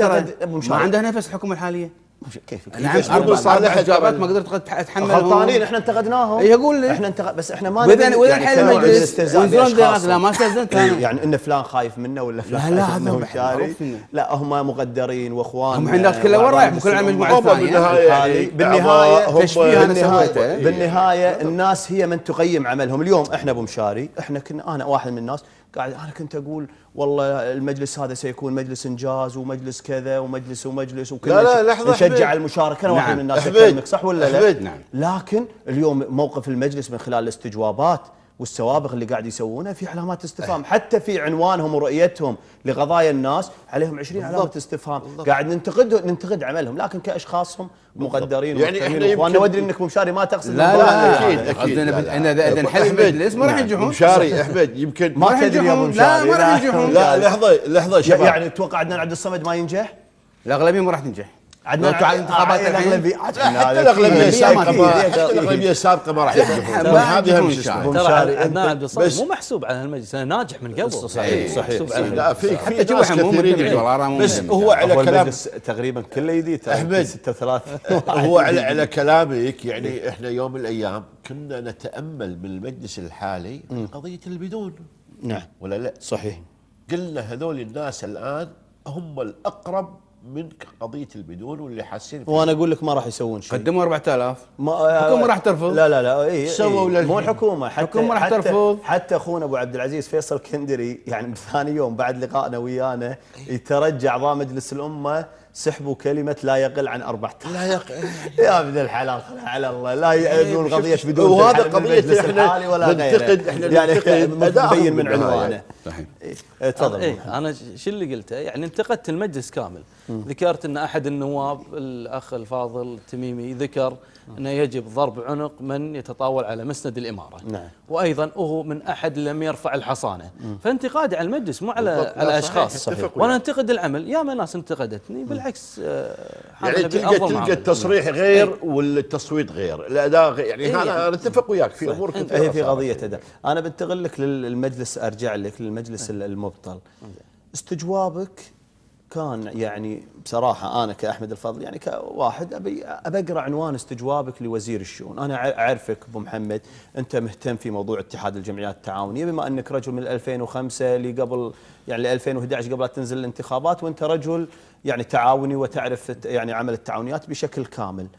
لكن ما كانت واضح في يعني في يعني الناس ما كانت واضحة يقولون وزير الشؤون كان متعاون مع رياض العدساني بشكل يعني يمكن ما في وزير رجيب تعاون مع مستجوب بالطريقة.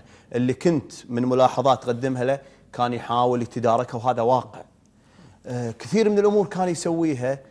آه البعض استغرب خليني أقول لك يعني وأنا ما ودي في قضية التصنيفات بالنهاية يعني كلهم كويتيين إنه كان له موقف في يعني في إحدى الصحف كان له يعني تكلم عن إحدى فئات المجتمع. مقال. مقال أبو مشاري في جريدة الأنباء تحديدا. كان الأغلبية لهم يعني موقف. انت الرجل متعاون معاك وبنفسه أنا وسمعت هذا الكلام منك انت قال استجوابك مستحق يا رياض العدساني وفي هناك أخطاء وأنا سأعمل ها؟ على إن شاء الله تدارك هذه الأخطاء وأنا أتفق وياك في الكثير من الأمور. لكن البعض قال ما هو مفهوم هل هو لحماية رجيب لحماية رجيب من الأغلبية تقديم هذا الاستجواب؟ أو البعض إن رياض العدساني استقل واعتبر تعاون لرجيب هو ضعف من قبل رجيب فقال خلني أقدم هذا الاستجواب. تفسيرك للحاله حالة استجوابك لوزير الشؤون. على كل جزئية. نعم تفضل. إذا نفترض جدلا حماية الوزير وأنا ما أحمي وزير. إذا أنا قدمت استجواب ممكن الأغلبية يقدمون 10 وتروحون في الثقه يعني ما هي حماية مجرد ما صعد صحيح. منصة الاستجواب بالعكس هو مهدد ممكن تقديم طرح الثقة فيه. كان بالضبط اللي حصل بيني وبين الوزير. أنا ما رحت حق أي وزير مكتبة إلا الفريق أحمد رجيب نعم. وكان الحمد لله شهادته من بعد رب العالمين الأخ الفاضل بارك الوعلان. كان بيطلع سبحان الله قلت له خليك موجود. كونك رئيس اللجنة الصحية والاجتماعية. وكلمت الوزير قلت له ترى عندك بالوزارة كذا كذا كذا من الفساد. وعطيته قلت له هذا السؤال البرلماني ترى بعطيك إياه. وأنا كنت جدا متعاون معه. وعطيته ملف يختص بالفساد في هذا قبل الشؤون. قبل لا تقدم السؤال هذا؟ الكلام في شهر اثنين. نعم نعم. بعدين كنت ألتقي بالوزير تقريبا أكثر من 15 مرة في مجلس الأمة. وأقول له عندي قانون الاقامات اليوم إحنا وصلنا الوافدين تقريبا خلينا نقول رقم مهول. كلمت عن صحيح. قضية ارتفاع الأسعار. كلمت عن قضية الأغذية الفاسدة اللي موجودة في اتحاد الجمعيات. كلمت عن الأيتام. كلمت عن الساد جابر. نعم. كله ترى ما أخذ إجراءات. البعض شو يقول هل أنت قدمت استجواب ثلاثة أشهر فترة يعني كعجالة؟ قلت لا مو عجالة لأني أنا لو أسكت عن ثلاثة أشهر ممكن يزيد التجاوزات دبل لو أسكت لو نفترض المجلس استمر ستة أشهر. أنا بعطيك مثال. وهذا اللي حصل وياي لو أنت مكاني أنا قلت له في صندوق المشاريع الوطنية كان في 15 مليون نزل إلى 9 ملايين.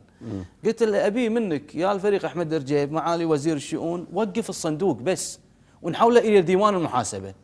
قال لي وقفته. أستنتج. يطلع تشيكين بشهر أربعة. قال لي وقفته شهر ثلاثة. تشيكين مسافرين رايحين قطر على على حساب الصندوق. الصندوق. هذه نقطة. آه النقطة الثانية بلاوي في عندك قانون ال- الإقامات. نعم. طبعا مو مطبق. الشركات الوهمية. الشركات الوهمية. أنا أعطيت الفريق أحمد رجيب 200 شركة وقلت له أبحث عنهم وما صار شيء عليهم. يوم قدمت الاستجواب كان على خمس محاور. المحور الأول هو قضية الأيتام لهم ما عندهم أم ولا أبو وهذا واجبنا نوقف وياهم غصبا علينا. صحيح. آه، قضية الإقامات آه، قضية الساد جابر وقضية عدم تطبيق القوانين والأحكام القضائية. والخامسة اللي هو ارتفاع الأسعار والأغذية الفاسدة. ما صلح ولا شيء فيهم. آه، طلع بتصريح استجواب العساني مستحق لتطهير القيادات الفاسدة في وزارة الشؤون. وذكر أنا أعطيته كم؟ 200 شركة. ذكر أن هناك 26 ألف شركة وهمية ومخالفة للإقامة. إذا نفترض كل شركة فيها 20 نعم. ضرب 26 ألف يعني فوق النص مليون أنت عندك عمال وافدة مو بحاجة لهم. وين قاعد يسترزقون؟ بالمحرمات بالممنوعات وكسر القانون. فكلمته قلت أنا مو هدفي ترى رأسك هدفي الإصلاح. إذا صحت منصة الاستجواب وفندت الاستجواب بشكل صحيح طبعا أنا همي أن أنت تدير الأمور في وزارة الشؤون. نعم. لأن ترى وزارة الشؤون ما حد قدم استجواب أكثر من 20 سنة. حتى طلال العيار عسى الله يرحمه ويغفر له الله عليه. تقدم استجواب على أساس وزير كهرباء مو على أساس وزير الشؤون صحيح وزير الكهرباء اي كان وزير الشؤون والكهرباء بس كل على الأمور قضية على قضية على الكهرباء. الكهرباء. على قضية التوربينات وغيرها اي فتراكم الفساد في وزارة الشؤون خاصة عندك أنت مؤشر الفساد أكثر أكثر شيء الشؤون والبلدية. نعم. صحيح. فقلت له إذا فعلا أنت جاد في الإصلاح حولهم النيابة. أنت تقول هناك رؤوس فاسدة في وزارة الشؤون. قال لي إن شاء الله راح احولهم النيابة قدم استقالته فوين خطئي؟ يعني أنا قلت له حول النيابة. إذا هو خطأ خطوات جادة وحولهم النيابة فمعناته انتهى الاستجواب نعم. بس ما قدم ال... بس فمعناته بس هو كأنه كان يعني كان يعني ال- ال- اللي كنا نشوفه. يعني أنا واحد من الناس هم يعني كنت أشوفه من خلال الإعلام. وحتى كم مرة هني قلت على البرنامج يعني كنت أشوف إنه فعلا جاي يبي يصلح الأمور هذه. يعني للأمانة يعني كنت أشوف إنه هو ريال فعلا جاي يصلح قضية الإقامات والشركات الوهمية. الإقامات أنا أقول لك صعب لازم نكون إحنا منصفين مع نفسنا آه الإقامات مت- متعلقة في الشؤون والبلدية. والتجارة بعد. والتجارة. التجاره آه، كان الفريق أحمد رجيب وكيل وزارة الداخلية يعني خلينا نكون واقعيين صحيح. ونفس ال- آه، صار وزير الشؤون. صحيح. فدستوريا ما أقدر أحاسبه على الداخ- الداخليه بس منطقيا لا بس هو بس بس يعني. السؤال آه، أبو محمد كان في أنا أذكر حتى أيام آه، وزير الشؤون السابق آه، الدكتور العفاسي يعني أبو سمو- أبو سعود نمسي عليه بالخير. يعني أنا مرة كلمته قال لي أبو علي في عندنا حتى الآن قضية الشبكة الاتصالات ما بيناتنا والسيستم النظام حتى الآن ما اكتمل. ما إحنا قادرين إحنا نتابع قضية ال- العمالة والشركات الوهمية. هل مثلا فعلا الآن النظام متكامل؟ في شيء عندك خبر عندك معلومة؟ ولا ولا؟ لا لا, لا ال- شلون إذا مو متكامل قدروا ان يحصرون 26 ألف شركة وهمية. ال- البعض شو يقول؟ يقول فرضا ليش ما قدمت استجوابك اللي مع الوزير السابق آه، الدكتور العفاسي زين أنا ما كنت نائب والله لو كنت نائب لا أقدم الاستجواب ما ولا أتردد. لأن أنا يوم كنت مواطن رفعت قضية على وزارة الشؤون. يعني, يعني الوزير ذكر رشيدي حالة ألف شركة أعتقد لي. حالة ألف شركة بس ألف وين شركة. وين الباقي 26000 أستاذي إيه. وزارة الشؤون إذا الموضوع العمالة تحتها ما راح يسمع. لازم هذا مشروع الإنشاء هاي القوى هاي العامة القوى العاملة.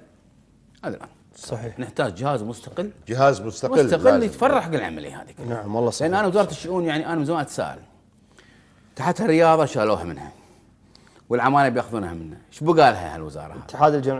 الجمعيات الجمعية التعاونية. القطاع التعاوني. إيش بقى يعني؟ مساعدات أمور تغير مسماها. والله ترى- العظيم. ترى الناس- ترى مجلس الأسرة سووا الحين بيصير جهاز بعد. بس خلينا نوصل رسالة. وزارة. الناس زهقت من هالثلاث وزارات التجارة والبلدية والشؤون. يعني أي شاب طموح اليوم يبي يسوي مشروع قاعد يتغربل. يعني قاعد يتبهذل. يعني وكل مرة نسمع نفس التصاريح. يأتي وزير جديد ونفس إحنا ندفع في علجه التطوير ونعالج الفساد. ما الفساد موجود في بعض الوكلاء غيرهم. صحيح. ليش أنا يعني نفس الروتين لما يقول لك الحكومة الالكترونيه وين الحكومة الإلكترونية؟ خوش كلام النقطة اللي أهم من هذا كله المراسلات بين وزارة البلدية ووزارة التجارة إلكتروني. صحيح. يعني المدير يقدر يتعامل مع الجمهور إلكتروني. مراسلات الكتروني بس ما يبي. ليش؟ يبي يمشي فلان ويضغط على فلان عشان يمشي وصلاته. صحيح. المدير. وهذا الخلل اللي قاعد يحصل. الفساد كبير يعني في في والله في, كبير في, في وزارة الشؤون في موضوع الإغامات ومشاري ومتراكمة من سنوات وسنوات سنوات. موضوع. يعني شو اللي يمنعها السؤال هني الأهم؟ شو اللي يمنعنا تنحل؟ هل هناك متنفذين ما يبون يحلونها؟ لا في متنفذين. إيه ما يبون إيه، يحلون لا. لهم مستفيدين أنا كنت من عرض احمد متنفذين حيل. وأقول لك شغلة أنا يعني كنت أسمع يعني ها؟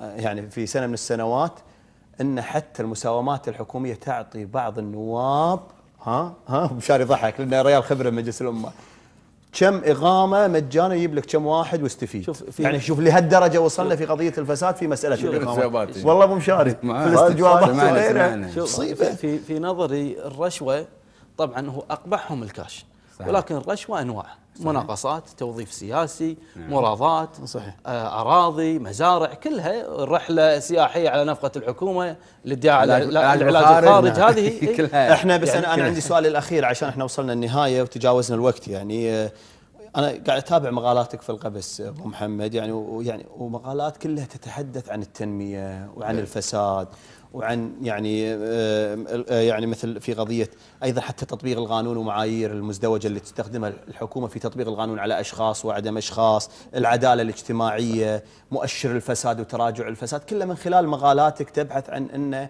وأنت قلتها قبل شوي في الحلقة، قلت عندنا فوائض مالية ضخمة في البلد لكن لا نشوف مشاريع لا نشوف آه تنمية. باعتقادك شنو سبب كل هالمشكلة في في هالبلد؟ هل إحنا نقول أكيد الأساس الحكومة. هل هناك أسباب أخرى غير الحكومة؟ وتكلم إذا في في الحكومة. اي في. يعني أنا إيه. أقول لك 90% تلام الحكومة و10% على النواب. نعم. أيضا النواب في منهم إنه مستفيدين. إنه ما سوت وفق قناعاته. صحيح. في بعضهم قبل يعني أنا خليني أفصلها. يعني التجار اليوم نوعين. تجار شرفاء وتجار الحكومة خلاص يعني آه، قضبتهم. نوع التجار السياسيين. يبي يقول كلمة الحق توصل لهني وتوقف. ما يقدر. لأن يسكرون مصالحه. إي يسكرون النل عليه. يسمونهم آه، معتمدين على الكويت اليوم مناقصات الدولة.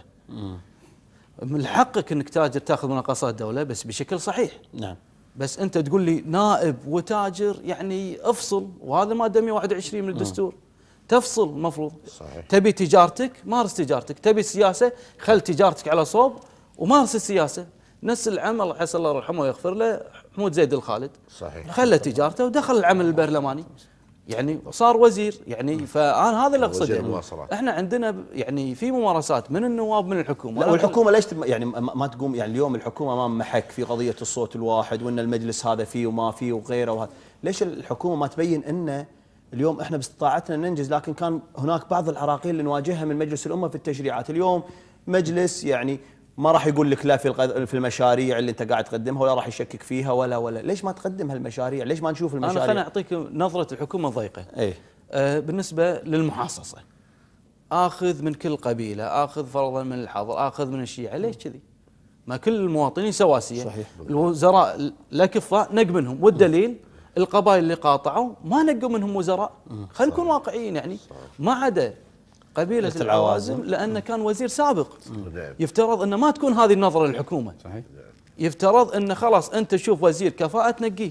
وأنا بالنسبة لي يجب تط... اللي هو تغيير القيادات في الوزارات. الوكلاء المساعدين وكلاء الوزارات مو كلهم. ولكن يجب تج- تجديد الدماء. إحنا شرعنا قانون لكن ما كملناه. اللي هو بالنسبة حق القيا... ال- الوظائف القيادية. قيادية نعم. حدها ثمان سنوات خلاص تترك المجال حق غيرك. صحيح. يعني رئاسة أمريكا ثمان سنوات خلاص وكيل وزارة بتقعد لي 30 سنة. ثمان سنوات تترك المجال حق غيرك. يعني هذا اللي كان المفروض يصير. نعم يعني يعني آه، إحنا الفساد لكن نتمنى إن شاء الله إن البلد تنهض في ظل هذه الفوائض وإن الحكومة يكون لديها تبي الرؤيه تعرف والخطة الدولة فيها فساد ولا لا أي. إذا شفت وفرة مالية مقابلها تنمية تعرف الأمور ماشية صحيح. وفرة مالية. وما في إنجاز اعرف وهذا التوازن. وهذا التوازن ما بين للأسف. الأمرين للأسف آه، إحنا. وصلنا للنهاية أبو علي آه، أبو علي كلمتك الأخيرة لأخونا. يعني أنا الحقيقة أول شيء سعيد وجودك وياي. أخوي أبو محمد. أول شيء. الله. الله يخليك ويسلمك آه، بداية أمسي على أخوي وأسلم على أخوي حمد الاعمر أبو محمد أقول لك هذا رياض العساني كان. الله يسلمك. جزاه الله خير يقول لي سلم عليه ومسي عليه بالخير إن شاء الله. الله يسلمك. يعني الحقيقة آه، أنا سعيد وياك. الله ومثل ما كنت ويانا ذيك الأيام السابقة قبل الانتخابات فعلا يعني هذا رياض العدساني اللي هو ال- الشاب الطموح الذي قاعد يبني شخصية سياسية مستقلة في نفسه. وأنا صراحة أحترم الإنسان اللي هو دائما أقول لا تشوف إلى الرموز مع احترامي وتقديرنا لهم. ابني في نفسك الشخصية المستقلة السياسية. أنت ابتكر الكلمات أنت ابتكر لنفسك. خلينا نقول السامبل النموذج. أنت ابتكر لنفسك السيناريو اللي تبيه. أه ترى في كثيرين دائما يحاولون يقلدون الناس اللي فوق يخفق ما يعرف شلون يمشي بالنهاية. آه، لا ترى عندكم قدرات حتى في العمل السياسي. آه، مرات تجد أن واحد يعتقد أن هذا الرمز اللي موجود لازم أنه هو يقلده. مو بالضرورة تقلده. ترى والله ممكن أنت تبتكر في نفسك وأحسن دليل الرجل الموجود هنا قال لي أنا ماني محسوب لا على المعارضة ولا على الأغلبية ولا على الأقلية ولا مع الحكومة ولا ضد الحكومة. أنا ريال جاي أخدم البلد أخدم المواطنين أخدم الشعب وأخدم هالأرض هذه. وين ما أشوف في مصلحة الشعب وفي مصلحة الدولة وفي مصلحة الأمة أنا ويا هالمصلحه هذه وكفو عليك جزاك الله خير. كفو علي عليك. مشاري نعم. أنا نقطتين. النقطه الأولى آه ما شاء الله شخصيته مستقلة وأتمنى نحافظ على توازنه هذا وتواصل مع الجمهور ودخوله عالم الإعلام والكتابة كزميل في الجامعة الاعلامي أهلا وسهلا فيه في جريدة الغبس. على- الرائعة حقيقة. يمكن يعرفون آه، يمكن الزملاء أو المشاهدين الكرام يعرفون إنه هو ابن الوزير السابق آه، أحمد أحمد العدساني العدساني. محمد وما شاء الله نفس الركادة ونفس يعني. الشخصية الله يبارك فيهم إن شاء الله عائلة دائما معطاء ب- بس- ب- ب- جزاك الله للوطن وبهذه الشخصية الحلوة وال- والدمسة. شيء ثاني وهذا المهم يا جماعة الخير. شوفوا الحين هذا نائب مجلس 2012 من الأغلبية المبطله حضر معانا هني وبين وجهة نظره وأعتقد وضح كثير من المفاهيم. أنتم ليش ما تجون تقعد نفس نفس قاعدة نفس نفس قاعدة رياض عدساني حياهم ونعم الله. فيهم والله. يقعدون يوضحون للجمهور يا جماعة الخير. ونعم فيهم كلهم. يعني القناة أو البرنامج ما هو مخصص ل- ل- لمجموعة معينة أو راي سياسي معين. لا تعالوا. انت إحنا ناقشنا في كل شيء. وفي امور ما اقتنعنا فيها. وشوف وفي امور اقتنعنا فيها. بالتالي إحنا نقول لا تنوع الآراء وحضورهم صحيح. النواب. من مجموعه ال 2012 وهذه دعوة من خلال إي يعني ينحون يناقشون يا جماعة الخير وأنت أعتقد تملكون الحجج والبراهين. أكيد. شفت الحوار الموضوعي؟ صحيح. وناقشنا بطريقة هادئة وحلوة فاتوقع أن الجمهور بحاجة ناخبينكم قواعدكم. الكويت بحاجة تسمع الرأي الآخر بطريقة واضحة. فحيا الله الجميع في البرنامج. نعم آه،. مشكور يا أبو محمد على تواجدك معنا وتواجدك إضافة لنا. وحقيقة يعني أنا واحد من الناس يعني أشيد يعني بطرحك واللي هذا الطرح العقلاني اللي فعلا اليوم والله محتاجينه. يعني إحنا لا إحنا يعني بالنهاية الناس يعني هالوطن يجمع, يجمع الجميع يعني وكل من يعيش على هالأرض هذه. فنتمنى إنه يكون هناك توافق وإن الكويت ما تستاهل هذا التعطل لسنوات وسنوات. بالعكس الآخرين عندهم رؤيتهم إن كانوا الأغلبية وإن كانوا في المجلس الحالي أيضا عندهم رؤيتهم. نتمنى أن نوصل لنقطة الالتقاء أن البلد وقفت يعني سنوات وسنوات.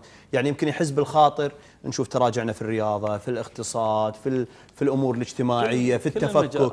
في التناحر حتى في مسألة احترام الرأي والرأي الآخر أصبحنا نتناحر.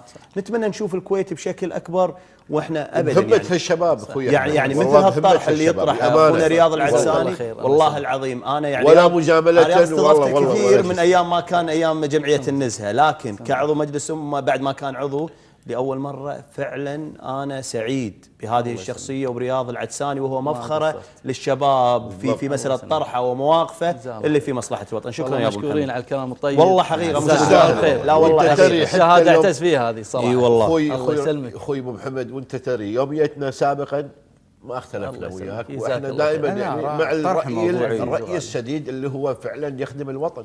الله يسلمك. نبي؟ وهذا من. طيبكم. الله جزاكم الله خير. كلمتك الأخيرة. عسى الله يوفقك. أنا أقول والله مشكورين. جزاكم الله ألف خير.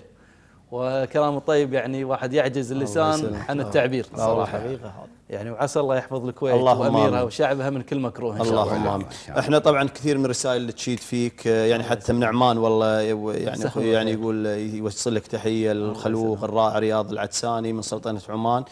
ويقول لي أحمد الحلاق يدور عليك. يطالبك شنو طبعا إخواننا من مصر أيضا يعني أختنا مصرية متزوجة من كويتي تمدح البرنامج والطرح من جمهورية مصر.